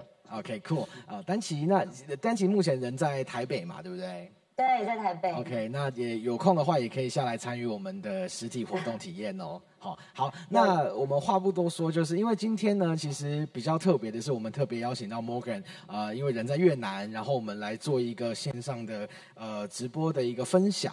那这边的话，我就会用双语的方式来进行今天的这个呃讨论。那呃这边我就先问呃从丹喜导演开始好了，因为《女海盗》啊是一个呃相当传奇，但是其实没有什么人知道的一个故事。那也也想要知道，就是说呃可可不可以请丹喜导演先跟我们聊？《女海盗成名之路》这个故事，它呃背后到底是它的缘起是什么？然后呃这个故事大概在讲述什么样的一个内容呢？嗯，好的，呃，跟大家介 跟大家先介绍一下，其实这个案子《女海盗》是共同导演嘛，就是我跟 Morgan 一起。那呃，我自己在台湾本身其实创作的领域就是比如剧情片、纪录片跟广告。然后我本来就很喜欢呃历史的题材，就尤其是一些拜官野史的部分。但是当那时候 Morgan 跟我提到《女海盗郑一嫂》的时候，我是非常惊讶的，因为其实我完全不知道。然后我就开始去读了很多的资料，才知道说，哦，原来在我们自己的亚洲文化里面有这么有趣的背景。虽然我们都会都会讲说啊，台湾人的祖先以前是海盗，可是好像没有真的去深入了解，就是海盗的文化。所以当一读之后，就发现这个女人就是真的太特别了，就是光是在以前比较封建的时代，一个女生要如何爬到一个很高的地位，然后又尤其是在海盗的文化里面，它不是一个就是陆地文化，所以那时候我就对这个故事就很有兴趣，我们就开始跟 Morgan 一起就是共同修改这个剧本。那其实在，呃我自己觉得啦，就是在明清时代的海洋探索跟现在的文化比起来，那个开放性是很不一样，它甚至超越了国家的概念，尤其是非官方单位。譬如说，我们看到了这些海盗，它其实是沿海生存的居民，他们真的被压迫的没有办法了，不得不往海上去拓展。可是那样的冒险精神是很惊人的，所以我自己也会回头去思考说，就是台湾其实我们自己明明也是一个四面环海的国家，可是我们好像对海的感觉是走越远就是越可怕，不要去太远的地方。对，那就是这一次可以有机会来做一个就是海洋文化上面的故事，我是就是很有很开心的。对，嗯。呃，就是在这个故事里面，就是也也蛮好奇，是说就是在当时候 Morgan 跟你提这个故事的时候，因为你刚刚有说到你做了很多田野调查嘛，然后还有一些、嗯。呃史料的研究，那呃能不能请你大概讲述一下这个故事背后，呃、应该说是这个故事实际上在说什么？好啊，好啊，嗯，呃，正一嫂就是一般，如果你去 Google 就打正一嫂，正一其实是她丈夫的名字，就是我们现在画面上看到这个拿刀子的女人。然后，其实大家如果有看电影《加勒比海盗三》，它有一个世界海盗大会，它里面就有一个女海盗的角色，其实就是郑一嫂。那呃，其实之前当郑成功要撤退来台湾的时候，有一批正式的亲族，他们来不及一起撤来台湾，他们就在广东，然后就继续成为海盗。郑一嫂的丈夫就是郑一，其实就是这些人的后代。然后他们到呃清朝的时候，其实是已经小有规模了，尤其是呃郑一嫂的这个红旗帮是最大的。可是其实官方的记录是非常非常少的。然后呃郑一嫂她本来其实是广东沿岸一个呃妓院里面的烟花女子，她后来嫁给了郑一，可是她很有谋略的帮郑一一起经营就是她的海盗事业，尤其是在她老公就是郑一过世之后。他整个撑起了红旗帮，然后呃用他的谋略，用他的勇气，带领红旗帮变得非常强大，强大到清朝政府当时为了要去铲除红旗帮，他不得不跟英国跟葡萄牙联手，可是还是失败的。那其实郑一嫂的资料很少，我们我们后来读到一本很有趣的是，有一个英国商人被绑架之后写的回忆录，它里面就有巨细靡遗的描述，就是一些。他们觉得这个船上女这个女人是怎么掌握这艘船的？譬如说，她有一些很特别的制度，她觉得要对女生是要有保护的，然后要很公平的分配，就是掠夺来的财产。然后她的部众可能有三万人、四万人。所以我们的故事其实是在这个呃历史资料的背景下，但是其实也没有很多的历史资料的背景下，我们试着去探索这个呃女主角的心境，就是郑一嫂的心境，就是作为一个女人，她如何在呃男人环视的海上的生活生存下来，又或者说你作为一个人，你如何面对一个对你十分不利、不公平、不对等的，不管是男女的不对等，或者是社会阶级的不对等。你如何在这样子整个不对等的生存环境里面找到自己的出路？那我们觉得这个精神，其实你放在当代看，它都还是很现代，它可以套用在我们现在社会中遇到的很多的问题里头。所以这是我们故事想要去谈的。听起来非常有趣。The story sounds really interesting. So we get back to Morgan. Um, uh, as Stan, uh, Stanchi mentioned, this is the story uh, you bring up. and you found you find you found. Uh, so I will, I'm wondering how do you find a story and what is what is the um, first image that pops out when you read the whole story and why do you want to choose uh, virtual reality VR to um, tell the story? Um, so I I found a story in in the in this book. Uh, he's an, an Argentinian writer who in 1935 wrote a collection of uh, short stories about um, terrible people.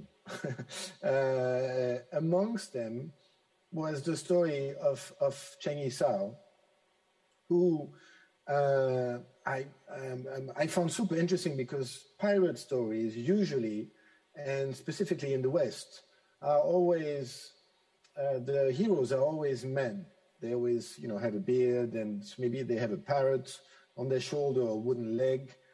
And women um, may be featured, but usually as slaves or prisoners, or there's not many uh, uh, uh, female, interesting female characters in pirate stories. And so here I found this story uh, in, in a collection of short stories from, from this Argentinian uh, very famous uh, author. So I, I, I did the research and she is actually even more extraordinary than I thought. She's not only a female pirate, but she is the most successful pirate in history. Uh, any time, any place, she had she built a, she built an empire and got away with it, uh, survived. Um, um, um, why why would I um, did we choose um, VR? Well, the advantage of VR is that we can tell you a story and completely immerse the viewer into the the the world that we want to describe. Um, for other medium, whether it's it's a book or, or, or traditional cinema or television, there's always this, this sense, this, the suspension of disbelief. You're looking at a page or you're looking at a, screen um, or you're listening to someone's voice. In VR, you can actually take the viewer and completely immerse them inside the story. Um, in order to do this, we built a set, which is the, the deck of the ship and we take the viewer onto the deck of a 19th century Chinese pirate ship. Yeah, I've I've seen the uh, props, the uh, the overall uh, design of the production yeah. design, and it's really stunning. And and uh, the uh, combination of the uh, live action and tilt brush is really interesting. So I'm going to move to 丹奇，就是呃丹奇在这一次的创作上面，因为跟 Morgan 做联合导演嘛，那这一次使用了呃应该说选用了实拍加上动画，而且是一个三 D 的动画技术，叫做 tilt brush，对不对？ 来来做这个混合媒材的使用，那当时候怎么会想要用这样子的方式在 VR 里面创作呢？然后以及创作的过程当中，使用 Tilt Brush 有没有什么遇到什么样的困难啊？或者说 呃，你们怎么去融合这些画面这样子，跟我们分享一下。OK，好，嗯。曾一嫂是一个距离现在两百多年的人，但是我们在描述这个故事的时候，其实不想要让观众只有我们回去的历史里面。其实我们更希望的是，我们更退一步，站在当代来看这个历史的故事。所以我们就想到说，如果借由这个概念，我们把实拍的画面跟动画结合，它其实给观众的体验会是，你既看到历史，可是这些人物又从里面又从历史里面走出来到你的身边。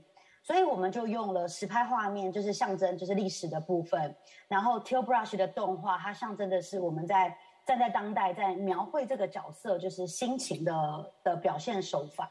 那以呃画面上来看，画面的右边是我们的拍摄画面，我们用的是三 D 一百八十度的摄影机拍摄。然后其实，在过程中演员看的时候，自己都会很惊艳，因为他会觉得好像剧场一样，可是。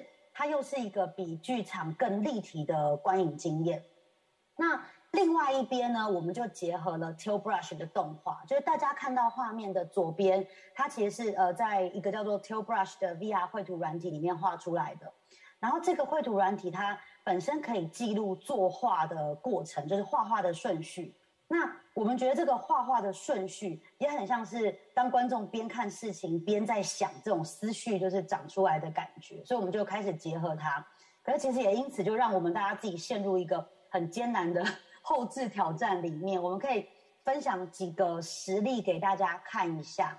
首先第一个就是，呃，这个是我们片子里面开场的第一场戏，它是正一嫂跟婢女刚被卖到船上去，他们跪在船上。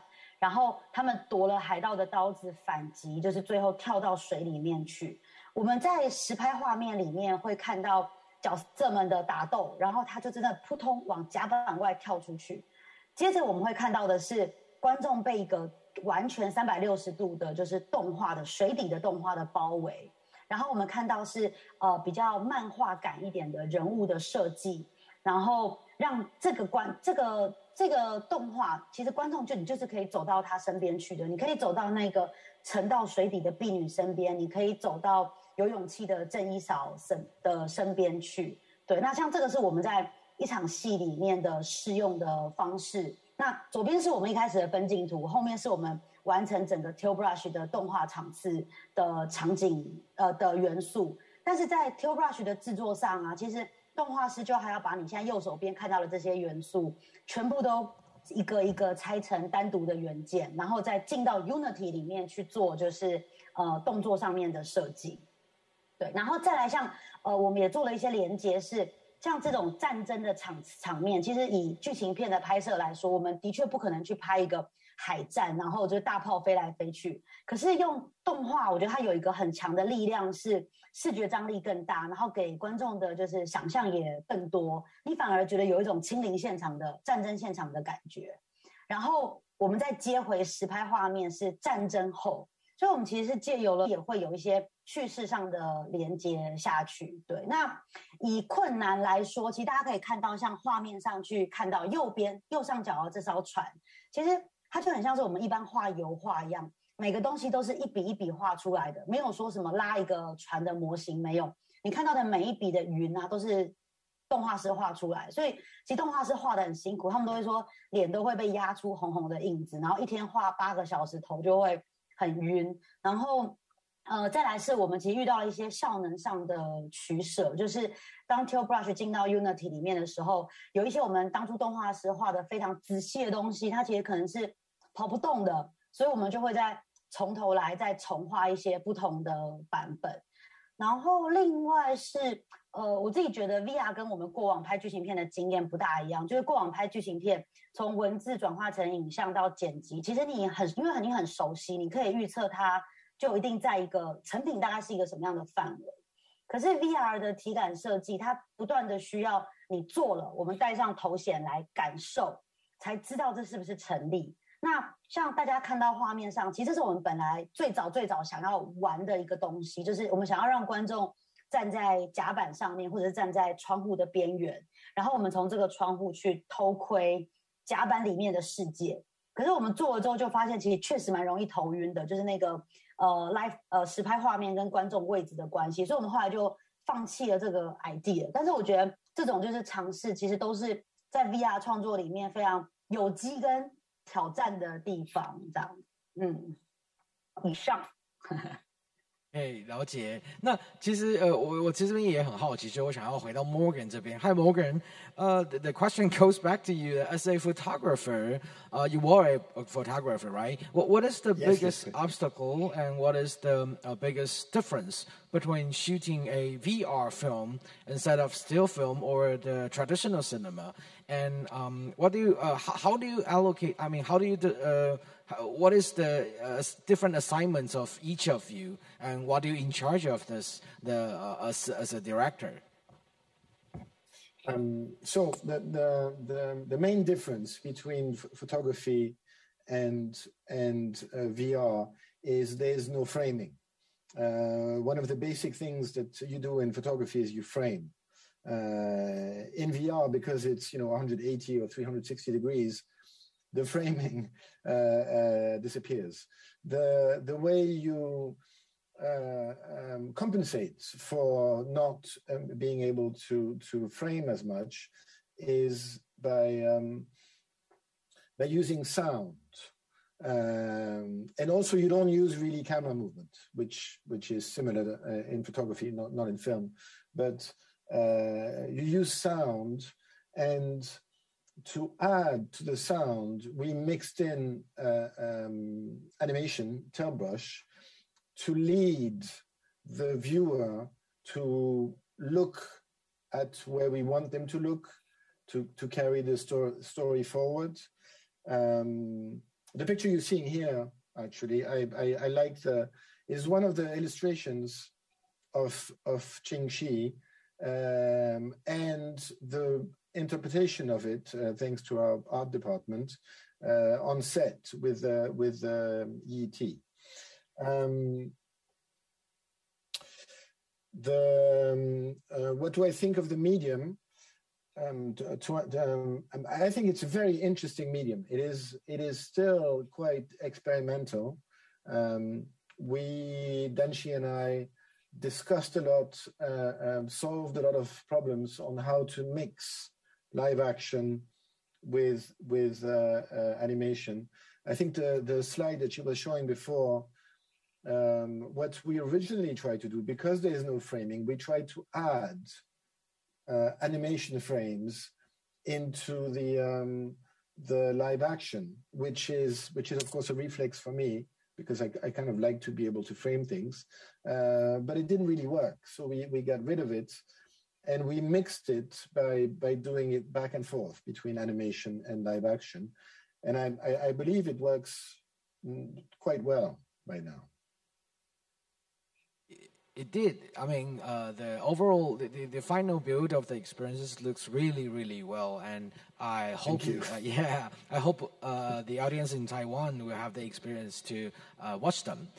OK，then we get back to 丹奇，就是丹奇这一次在，就是我们刚刚有提到，是说这一次在设置上面，当然有一些嗯动画跟实拍上面的一些挑战。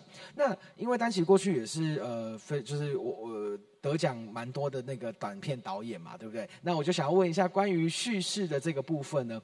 一开始我们在看《女海盗》这个故事的时候，其实是一个老奶奶在跟呃她的孙女讲故事，有点像是。呃，bedtime story 就是呃床边故事的的一个一个方向。那当时候为什么会选择这样子的呃形式来用，让伟奶奶娓娓道来的去讲述这个故事，然后好像让这个传奇故事好像有点真实，介于真实又介于呃 fiction 的这个这个这个呃界限。那为什么会想要采用这样子的做法呢？嗯，我觉得很多真人真事的故事啊，当你们真的讲出来的时候。通常大家都会难以置信，大家都会说真的假的。我觉得郑一草是一个很标准这样子的例子，就是譬如说你讲到海盗，大家都会先想到西方。如果我们说哦亚洲有个女海盗，大家就会说真的假的？有吗？不知道，觉得可能是编造出来的故事。所以一开始我们就很想要借用这个概念，就是明明有一个很传奇的人物，但是大家对他的背景扑朔迷离，不确定真的还是假的。可是好像故事就这样子一个又一个的传下去，尤其是会回过头来想自己小时候，其实我们大概都看了很多西方的童话故事、冒险故事，但是那我们自己文化脉络下面的那个故事是什么呢？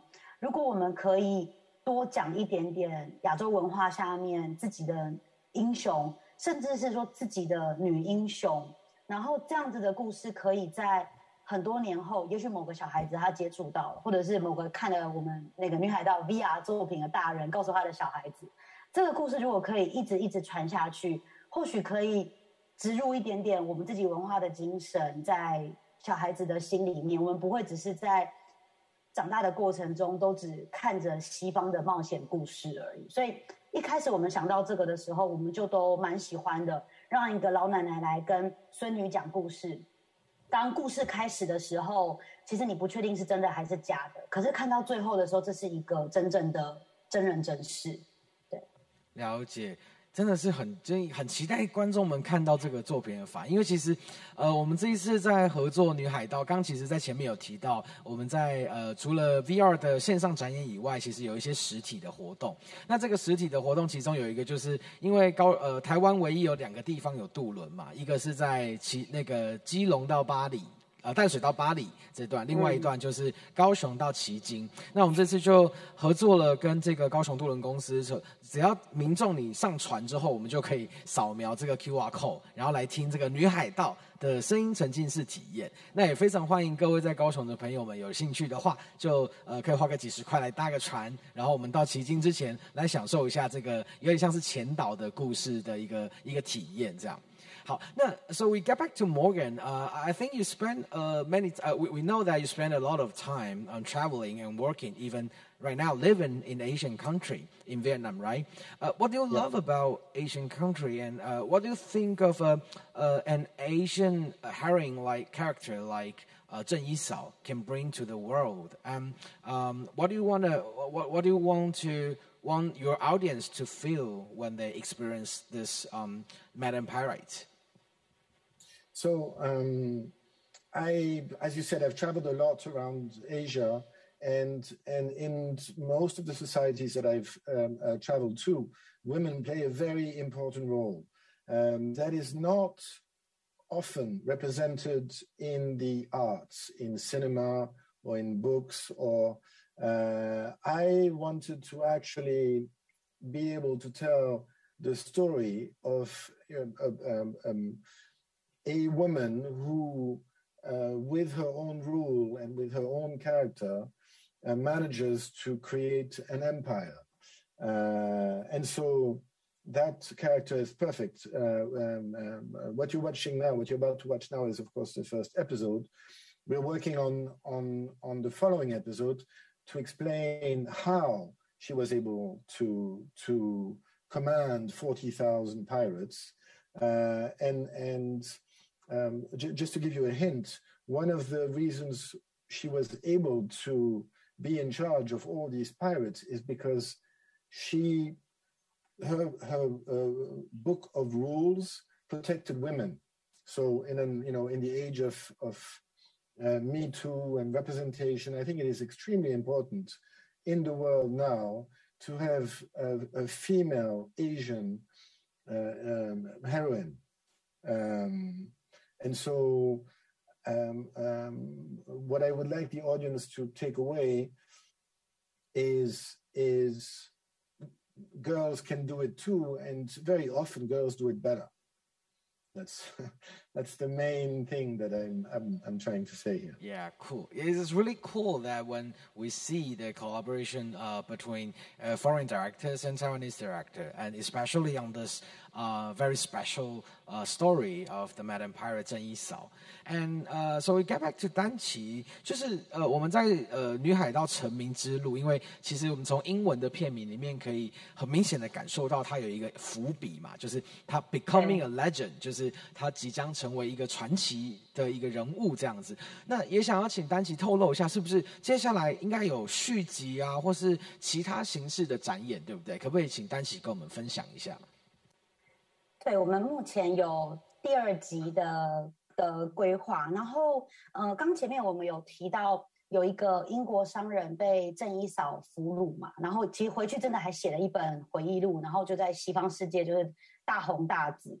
呃，我们的第二集会从这个回忆录的素材跟角度去出发，来看一下在别人的眼中郑一嫂是一个什么样的女人，这个人如何称霸海盗世界对。嗯。非常期待，非常期待。那也欢迎，因为今今年呢，这个《女海盗》呃成名之路这个作品是用 Quest Two，就是 Oculus 头显来来进行制作的，所以在我们的虚拟展场，因为一些原因，它没有办法呃上传到网络上。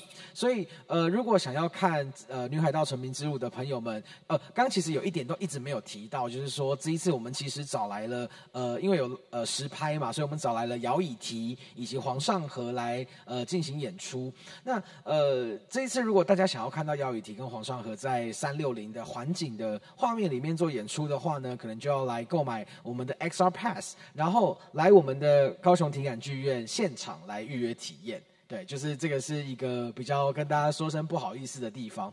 当然也很希望，就是应该说也很期待，就是《女海盗成名之路》未来除了 VR 的作品以外，它可能还有 AR 啦，或是刚刚提到续集的可能性。那我们在未来 VR 体感剧院这边也希望可以再展演给更多更多的观众看。Okay, so uh, thank you Morgan and Danchi for your sharing today, and uh, we hope everything goes fine on the uh, Extra Dreamland virtual venue. And um, Hope you can come to Taiwan soon, Morgan. yes, I would love to come back. okay, stay safe over there. 好，那我们就谢谢今天的分享，谢谢两位。谢谢。Thank you.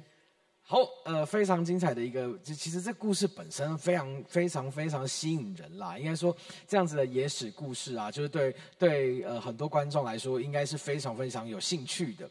那其实我们也知道，这在史料记载上面，郑一嫂最后其实在呃就落脚在澳门，然后开了澳门最大的赌场，这样子。就是这个呃，你说这个故事的真实性到底是有多真实呢？到底几十 percent 呢？好像在 VR 的世界里面也没有这么重要。掉了，对，那所以如果有兴趣的朋友们，可以先到呃高雄的奇经渡轮来体验一下呃这个声音的沉浸式体验。那如果想要看正片的朋友，也可以上网购买我们的 XR Pass，然后到我们现场 VR 体感剧院来进行预约体验《女海盗成名之路》。那接下来呢，我们要来呃欢迎我们的下一位讲者。那下一位讲者，他呃是我们去年的 VR 人才培育工作坊的百万首奖得主，呃，这位呃得主导演林佩莹。那他带着他的作品《纯》呃 Lips 来到了，就是呃去去到了很多国际的影展。呃，在这个计划阶段，那今年会在我们的高雄电影节 XR 无限幻境来进行他的 prototype，也就是阶段性的成果的展演。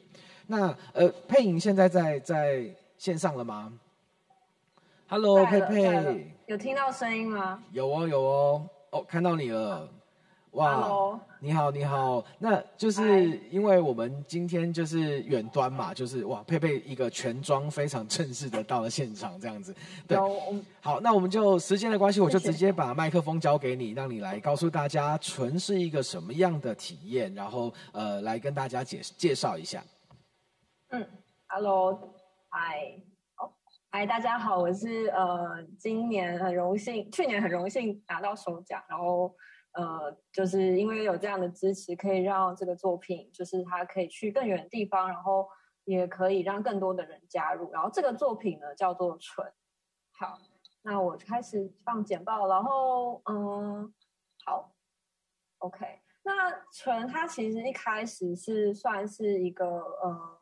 一个蛮蛮简单的一个想法。那这个要回顾我之前，呃，我我非常喜欢阿莫多瓦的电影，然后这部电影叫做《丑友告诉他》，然后他有一段片段呢，是他最后有一个默剧的片段，然后那个科学家他缩小了，然后他走在女体的身体之中，他经过她的乳房，然后经过她的肚脐，然后经过她的脚，然后最后进到她的身体，然后那一幕就让我一直印象非常深刻，我就在想说，哎。未来有没有可能有一种创作的方式，让人是可以真的经历在这个里，就是在人体的这样子的地景里面？然后我就觉得说，哎，那如果有这样的未来，是有这样形式可以实现它？所以我后来就把这个默种子默默的放在心里面，这样子。然后后来就就是这个作品就就这样想了，就这样放放在里面放了很久。然后后来是 VR 出来，然后。刚好我同时在做我另外一个研究所的创作，然后有一段时间我就是很频繁的梦到一些梦境，然后那梦境呢其实是有一点点有点小害羞，是有点欲望这样子，然后我就感觉到说，就是有人他是很好像会碰我的身体，然后他的重量压在我身上，然后在那个情感的当中，我是觉得我是很奔放、很自由的。那可能对比就是在回到现实当中，我可能没办法这么的自由去表达自己的、自己的的的欲望这样子。然后我就从这个概念去走，后来我就想说，哎。其实我就发现，在我们的生长途中，其实我们其实是算是没有在教导所谓认识自己、知道自己身体欲望的一个教教导。所以我先从认识自己身体开始，我就请了一个我很好朋友，还叫 Ann，他就帮我拍一些，就是我在画自己的过程。那我也去观察我自己的身体，也同时观察，嗯，我其他身边朋友的身体。那我就从可能从镜子里面去看自己，或者是我只是单纯的，就是让自己的眼视线，就是光看着我自己身体去画，画下我的皱褶，画下我身体的线条，画下身上的毛发，就这样子一步步开始去建立，就我再重新认知说，哦，原来我的身体线条是长这样，它会怎么样子去走？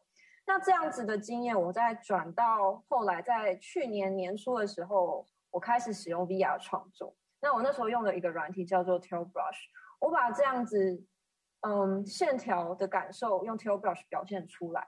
那我觉得用 Tail Brush 它是一个还蛮自由，而且还蛮简易去进到 VR 的一创作的一个途径。我那时候就是每天就带着 VR，然后就画一点，画一点，画一点。我就我就发现，在这样的创作过程当中，它可以很直接的依照我身体现在的律动去画下来。所以我把那个线，可能那个指甲画过去的痕迹，或者是有一段时间我就是可能比较愤怒，或者是比较想要比较奔放一点，我就是很用力的画，我就把这样的线条经验留下来，然后邀请大家戴上头衔去看我里面那个那个另外一个身体的我，另外一个头衔，可能他是寄居在头衔里面的那个我，我就是让大家就是就是有这样的一个很初步的创作，那。也带着这样子一开始的这样的草图，然后我带进到 VR Film Lab，然后就蛮幸运的，去年就 拿到了，就是拿到了支持，然后我可以继续把这个梦扩大这样子。那我这个就是我首奖拿到首奖之前的一个创作。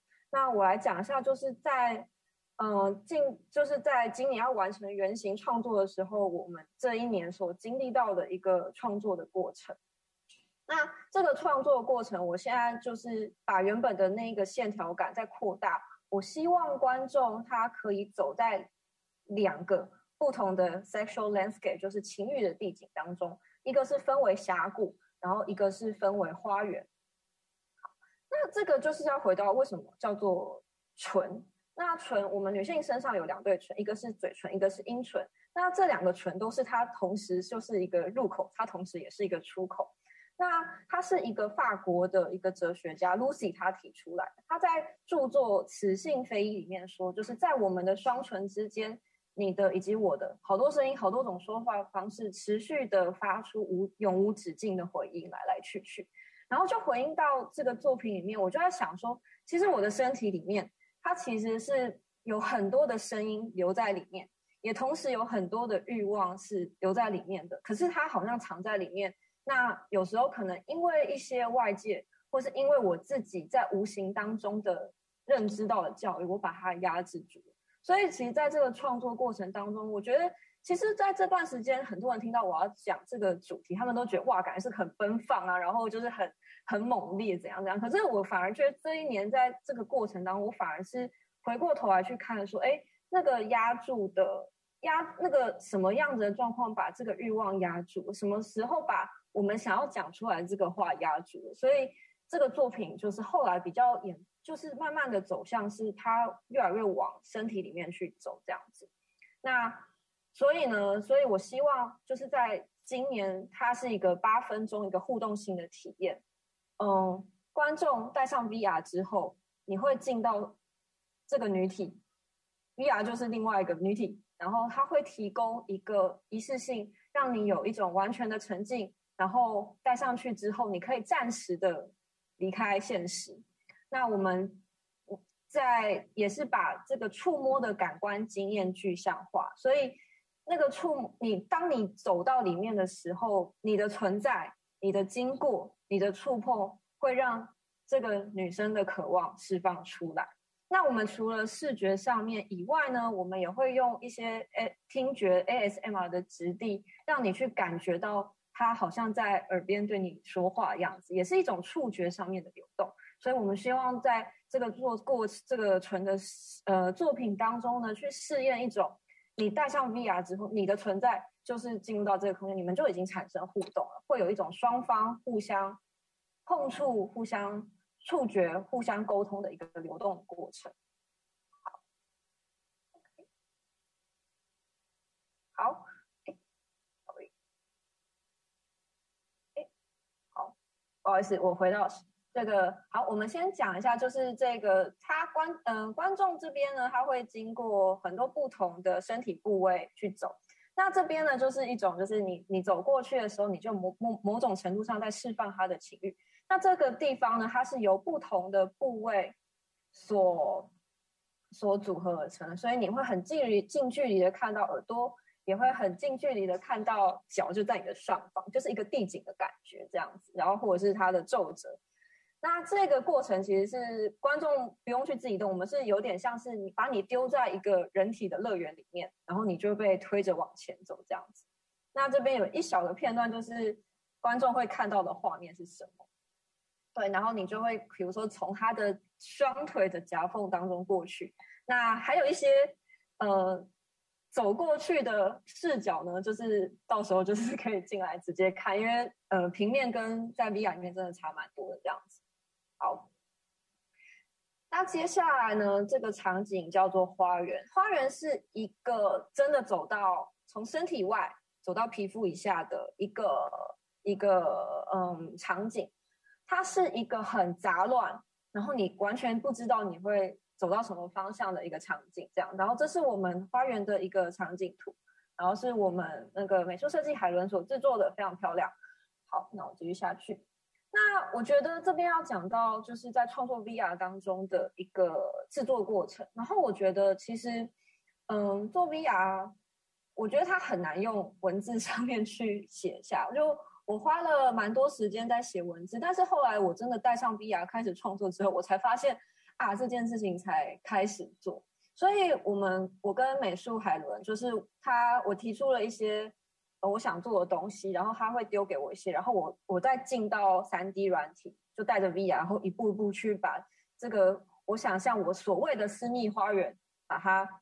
排列出来，然后这个是五月的一个定稿，那时候我们做了非常多花，然后就是很杂乱的放在里面这样子，对，然后就是这样一步一步的，就好像呃一个空的房间，你每天进到这个空间，每天进到这个房间之后，你去想说，哎，他他今天可能他想要在某个角落摆什么东西，那我就是这样子每一天每天的跟这个 VR。跟这个唇相处，然后慢慢把这个场景所盖起来。所以我觉得它是一个很私密，但是它同时好像会因为我每一个阶段的感受，每一个阶段所呃留在我身体里面故事而改变出来的。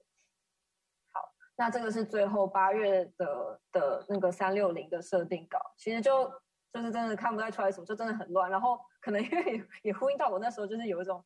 觉得啊，就是要开始找到一个方向，这样子，对对对。好，那我我们这边提到一下，就是嗯，我在之前是用 Tailbrush 绘画，那在这一在今年，我们也尝试了一些用现现有 VR 的软体去制作。那我们嗯，我这次有用到 Quill 来画这个图。那那 Quill 呢，它是一个也是一个 VR 的绘画软体。那我觉得它还蛮方便，是它可以让我也是把之前在 Tailbrush 那个手感经验留下来，所以我们这次有用到一点点是我们在 Quill 画的一些模型之后，把它输出输出它的 3D 模型，再丢到嗯绘画软体，所以它可以会呃丢到 Unity 里面，所以它会有一些我们手感的东西还保留的。但是我觉得这一次呃在这这一年当中，觉得哎。还蛮意外的一个尝试，这样子。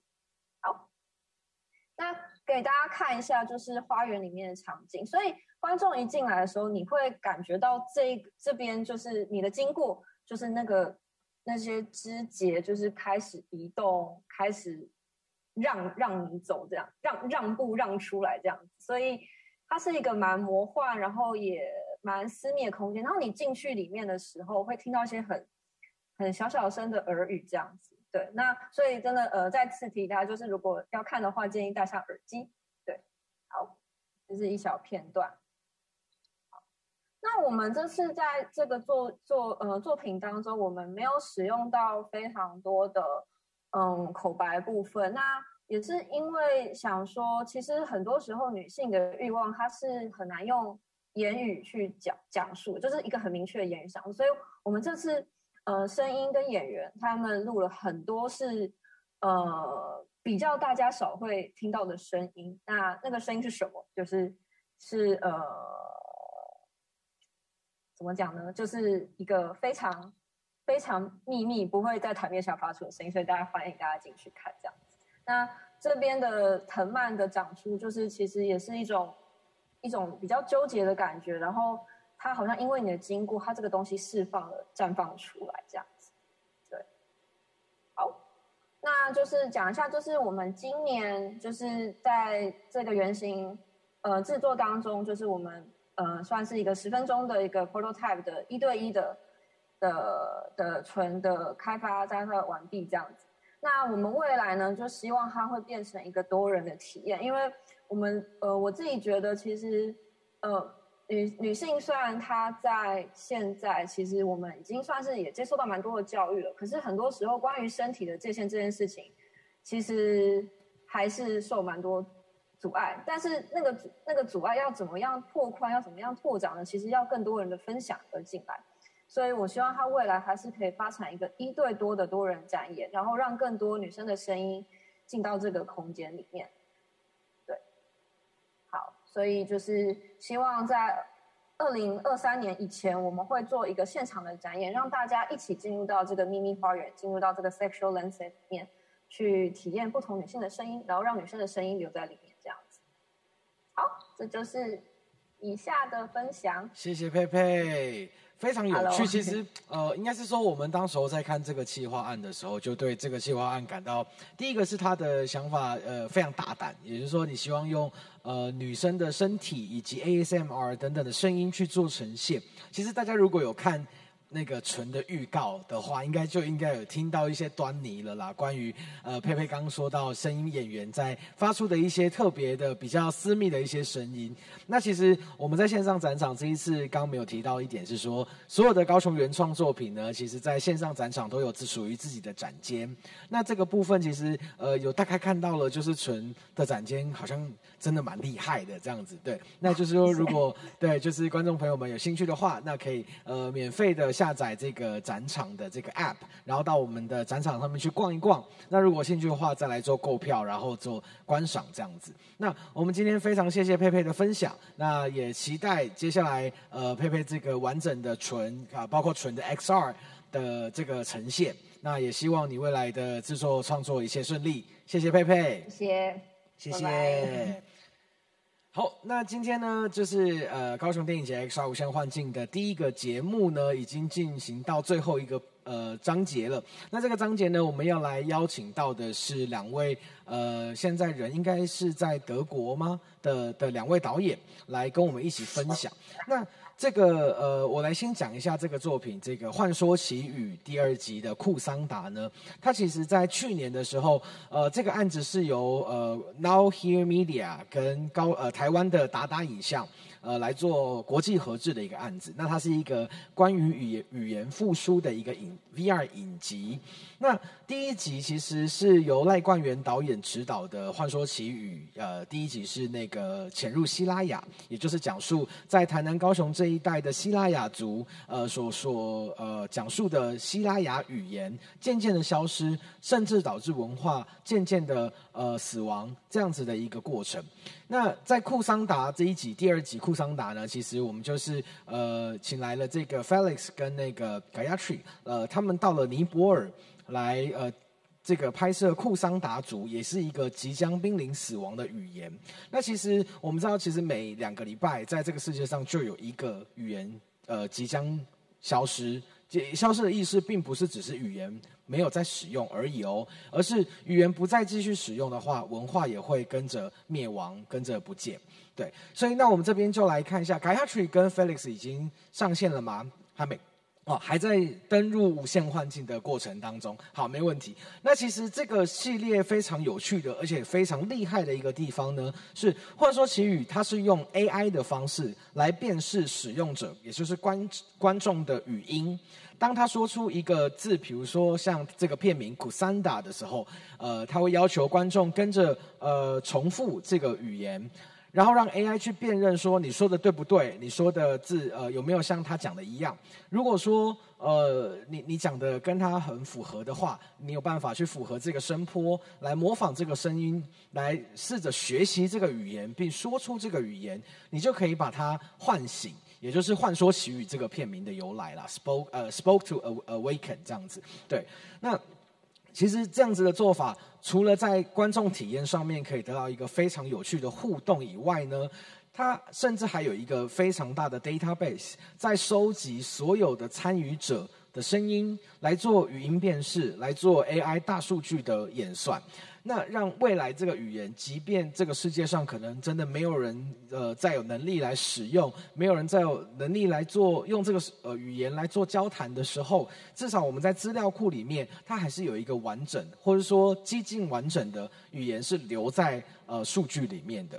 那这样在未来呃所有的学者啊跟教育呃相关的人员，他们需要再去复苏或者说在使用到库桑达语的时候，他就可以透过这样子的。的 database 的资料库来做呃可能的资源的传输啊，等于说，如果所有的呃史料跟考古的过程当中会需要用到这里面的文字的时候，就可以借由这个。AI 系统，呃，来透过呃这个大数据的方式，来找到所有的比对跟验证，这也是一种呃语言保存的一种可能性。那其实，在早上呃不好意思，下午刚开始馆长来呃帮我们致辞来讲话，就是呃简述这个故事的时候，也有提到，其实一开始呢，那个 Felix 呃跟那个 Gayatri 这两位创作者，他们在库桑达尼莫的这个库桑达族是。呃，访问了一位八十六岁、八十几岁的老老太太。那这位老太太呢，她其实也应该说是在那个地方，在库桑达族里面，仅存几位还能够完整的使用库桑达语言来做表达的人。结果在前期的访谈当中，就非常的嗯不幸的遇上了，就是老太太因为年岁已高，年事已高，所以就先逝了。那后来呢？他们就把这个呃访谈的对象转为这个老太太的孙女，来跟这个孙女讨论说：那呃，你小时候奶奶都是怎么样来跟你沟通啊？用库桑达语对你来说，从小到大的成长环境里面扮演着什么样的角色？那其实我们可以在这个作品里面也去感受到，当每一次呃这个呃互动机制，也就是说这个呃。电脑来告诉你说这个字叫做哭丧打然后当你要说出哭丧打的时候，好像就好像回到呃我们小时候在呃学习语言的一个过程。但是这个学习语言的过程，并不是只是让你去念那些字啊，去背单字啊，然后或是说去试着告诉你这些字汇背后的意思，而是事实上透过这些字，透过讲。讲出来的这个动作，你就可以成为呃复苏一个语言、一个文化的一个部分。好，那现在呃，Gayatri and Felix，are you online? Hello, can you hear me? Yes, yes, we are online. Thank you so much. Uh, it's really nice to meet you over uh, online. yes, thank you so much for having us. We are very, very honored to show um, Kusunda Speak to Awaken at the Kaohsiung Film Festival. Thank you so much. The honor is all mine. I mean, yeah, it's all ours. Okay, so uh, I will not hesitate to uh, let you introduce us about Kusanda. So it's your time. Thank you. Thank you. So, um, yeah, thank you so much for uh, having us here once again.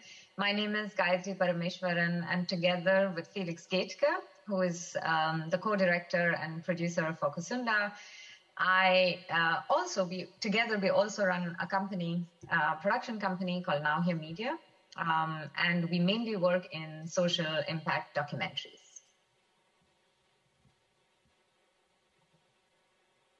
And today we are here to um, speak about um, Kusunda, Speak to Awaken. Thank you. Felix? Yeah, so Kusunda is a voice-driven virtual reality experience um, that explains or explores what makes a language uh, fall asleep and what it takes to uh, wake one up. So in, in this experience, um, you're mainly engaging with two uh, co-creators, Little Bahadur and Hema. Little Bahadur has forgotten his mother tongue and his granddaughter Hema um, wants to revitalize this language. Um, without further ado, I think I'm just going to share the trailer with you.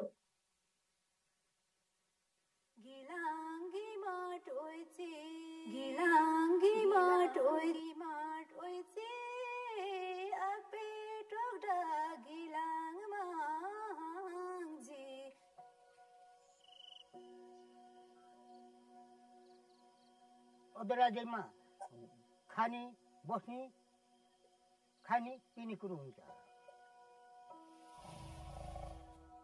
अब विश्वको भाषा मैले कसो लाग्यो नराम्रो लाग्छ।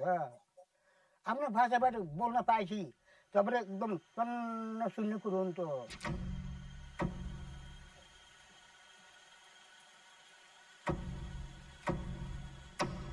कुसुन्डा भाषा रहेन भने चाहिँ किन नेपालमा कुसुन्डा छ भन्ने पनि अस्तित्व रहँदैन।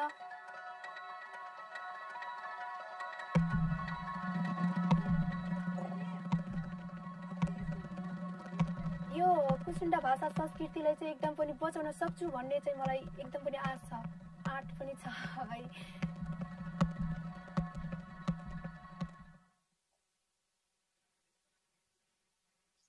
Great. Next slide, please.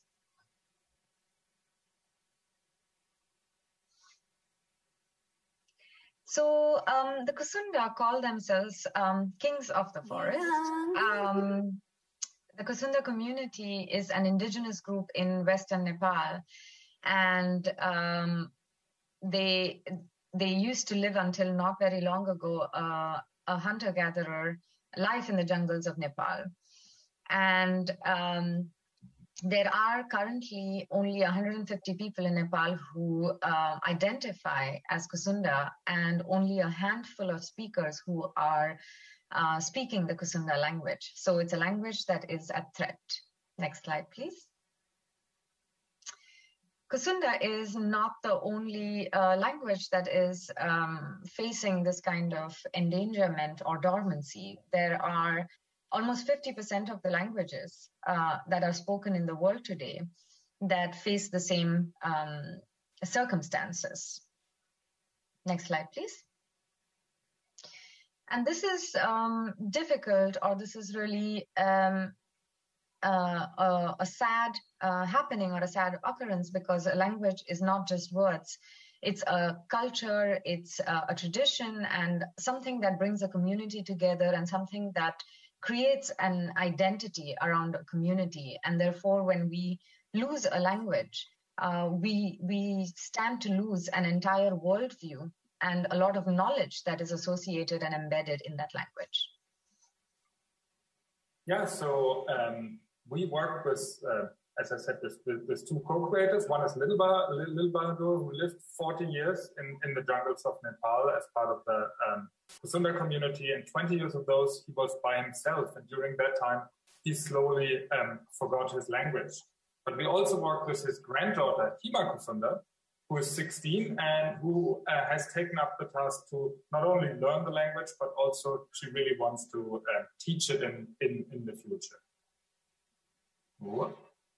Um, neither Gayatri nor me are Kusunda. So for us to work in, with the method of co-creation was really important to make sure that we are kind of enabling the Kusunda community to tell this story and not telling um, their story for them, but really um, enabling them to, to tell their, their, their own story.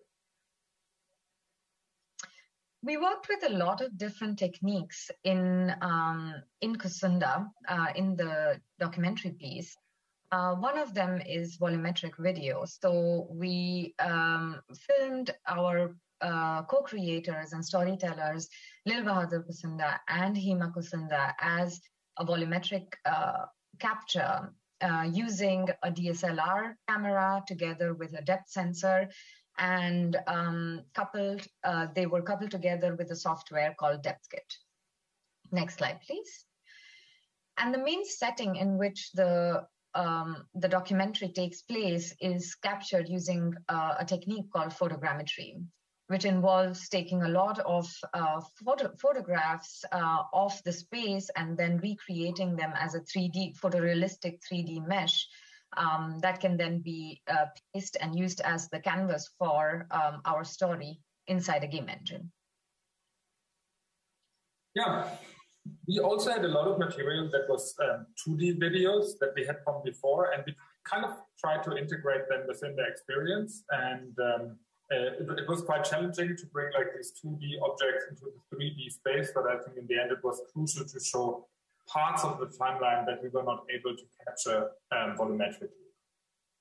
Um, of course, what was also crucial in this were really animations. So um, in order to um, show the past of Little Bardo in the forest, we worked with Tilt Brush and um, our animator um, did all, all these animations by hand in Tilt Brush in order to make this the, the, the past come to life. The Tilt Brush um, animations were based on mocap data, so we like recorded with mocap actors most of these scenes and then were in constant back and forth with the Kusunda community to see how how it would have um, felt and how it would have happened um, in, in, in, the forest in order to get the mocap um, right. Um, one of the main uh, interaction mechanics in the piece is um, voice-based interaction. So you learn certain words in the Kusunda language in order to move further in the narrative. Next slide, please. Uh, we had um, we have envisioned a, an installation together with the um, virtual reality piece. So when it gets shown in, in the best possible way, uh, these are pictures from the Tribeca uh, Film Festival where he, we had our world premiere. Um, we built an installation, a physical installation involving a tree and recreating a forest to invite people to enter uh, the space and also there was a social interaction or a social component where people were asked to do certain activities and tasks with each other before and after the headset experience. Speak to Awaken is uh, turned into a um, a series um, by you know by combining it together with another episode that actually comes from Taiwan called um, Diving into Siraya. Uh, next slide, please. Where we uh, paired or we did a co-production together with uh, Pokey Pokey Creative and um, director Quan Wan Lai uh, to to create the first episode of uh, Speak to Awaken together with the Sirayan language or the Sirayan community. Next slide, please. Um, yeah, and we, we we are very happy that we managed to um, be successful with the experience so far. It has been touring festivals. We won several prizes, and we also got um, yeah really positive feedback in, in in the press so far. And uh, we really hope that now um, people at the film festival um, in Taiwan can also uh, experience Kusunda and will will will enjoy it. Thank you um, so much. That's it from us. Uh, thank you so much for your sharing. And uh, uh, as you mentioned about the Tribeca Film Festival, I am really want to congratulate you uh, to win the Storyscape Awards 的最佳沉浸呃最佳故事叙事大奖。在翠贝卡影展的时候，这部片呢就拿到了非常好的奖项，然后也成功的进军到了威尼斯。Yeah, you success you successfully uh, get into the Venice uh, expand uh, VR expanded, right? And I think it's really an honor to I mean a big step for you uh, to uh, build more and more experiences like this. And I believe that there's a quote of uh, Noam Chomsky, as you mentioned in your presentation, that the general population doesn't know uh, what's happening in the world, and uh, it doesn't, they doesn't know they they doesn't know。就是说，在这个世界上呢，其实多数的人是不知道、不没有察觉到这个世界上正在发生什么样的事情，而更严重的是，他们并没有察觉到自己没有察觉到。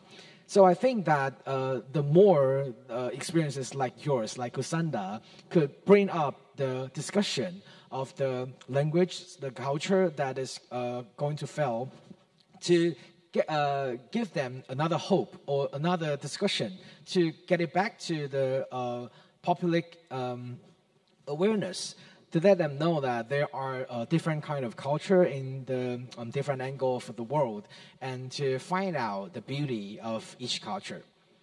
Yeah. Okay. Thank you so much for your uh, sharing today. And I'm sorry we could not invite you to Taiwan due to the uh, pandemic, but we really hope to see you in Taiwan in the very near future. And we hope you enjoy our XR Dreamland Virtual, the online uh, platform uh, this year, and hope to see you online. Thank you so much. Thank you so Thank much. You. Thank you so much. See you Was a there. pleasure. See you at XR Dreamland Virtual. yes, we will see you at the virtual show. OK OK，好，那今天的那个呃 X 二 呃，对不起，XR 无线幻境高雄原创 VR 影人分享会呢，就到这边告一个段落。那我是今天的主持人，我是 VR Film Lab 的制作经理洪武。那也希望接下来呢，大家可以到我们的网站、官方网站、售票网站来查询今年关于 XR 无线幻境的相关节目内容。那也刚刚介今天介绍了这六组，呃，也请到了这六六组的那个创意团队来跟我们分享他们在创作上面的心路历程。也希望大家有更了解这六部高雄原创作品、高雄原创 VR 想要带给大家的体验是什么。好，那呃，今年的话，除了在线上展场以外，我们还有更多更多的实体体验，也欢迎大家到官网进行查询，脸书粉丝页也。追踪、按赞、追起来，好不好？好，那我们就最后呃，谢谢大家的观赏。那希望大家一起跟我们解呃，一起跟跟我们一起解放自我，醒着做梦。谢谢。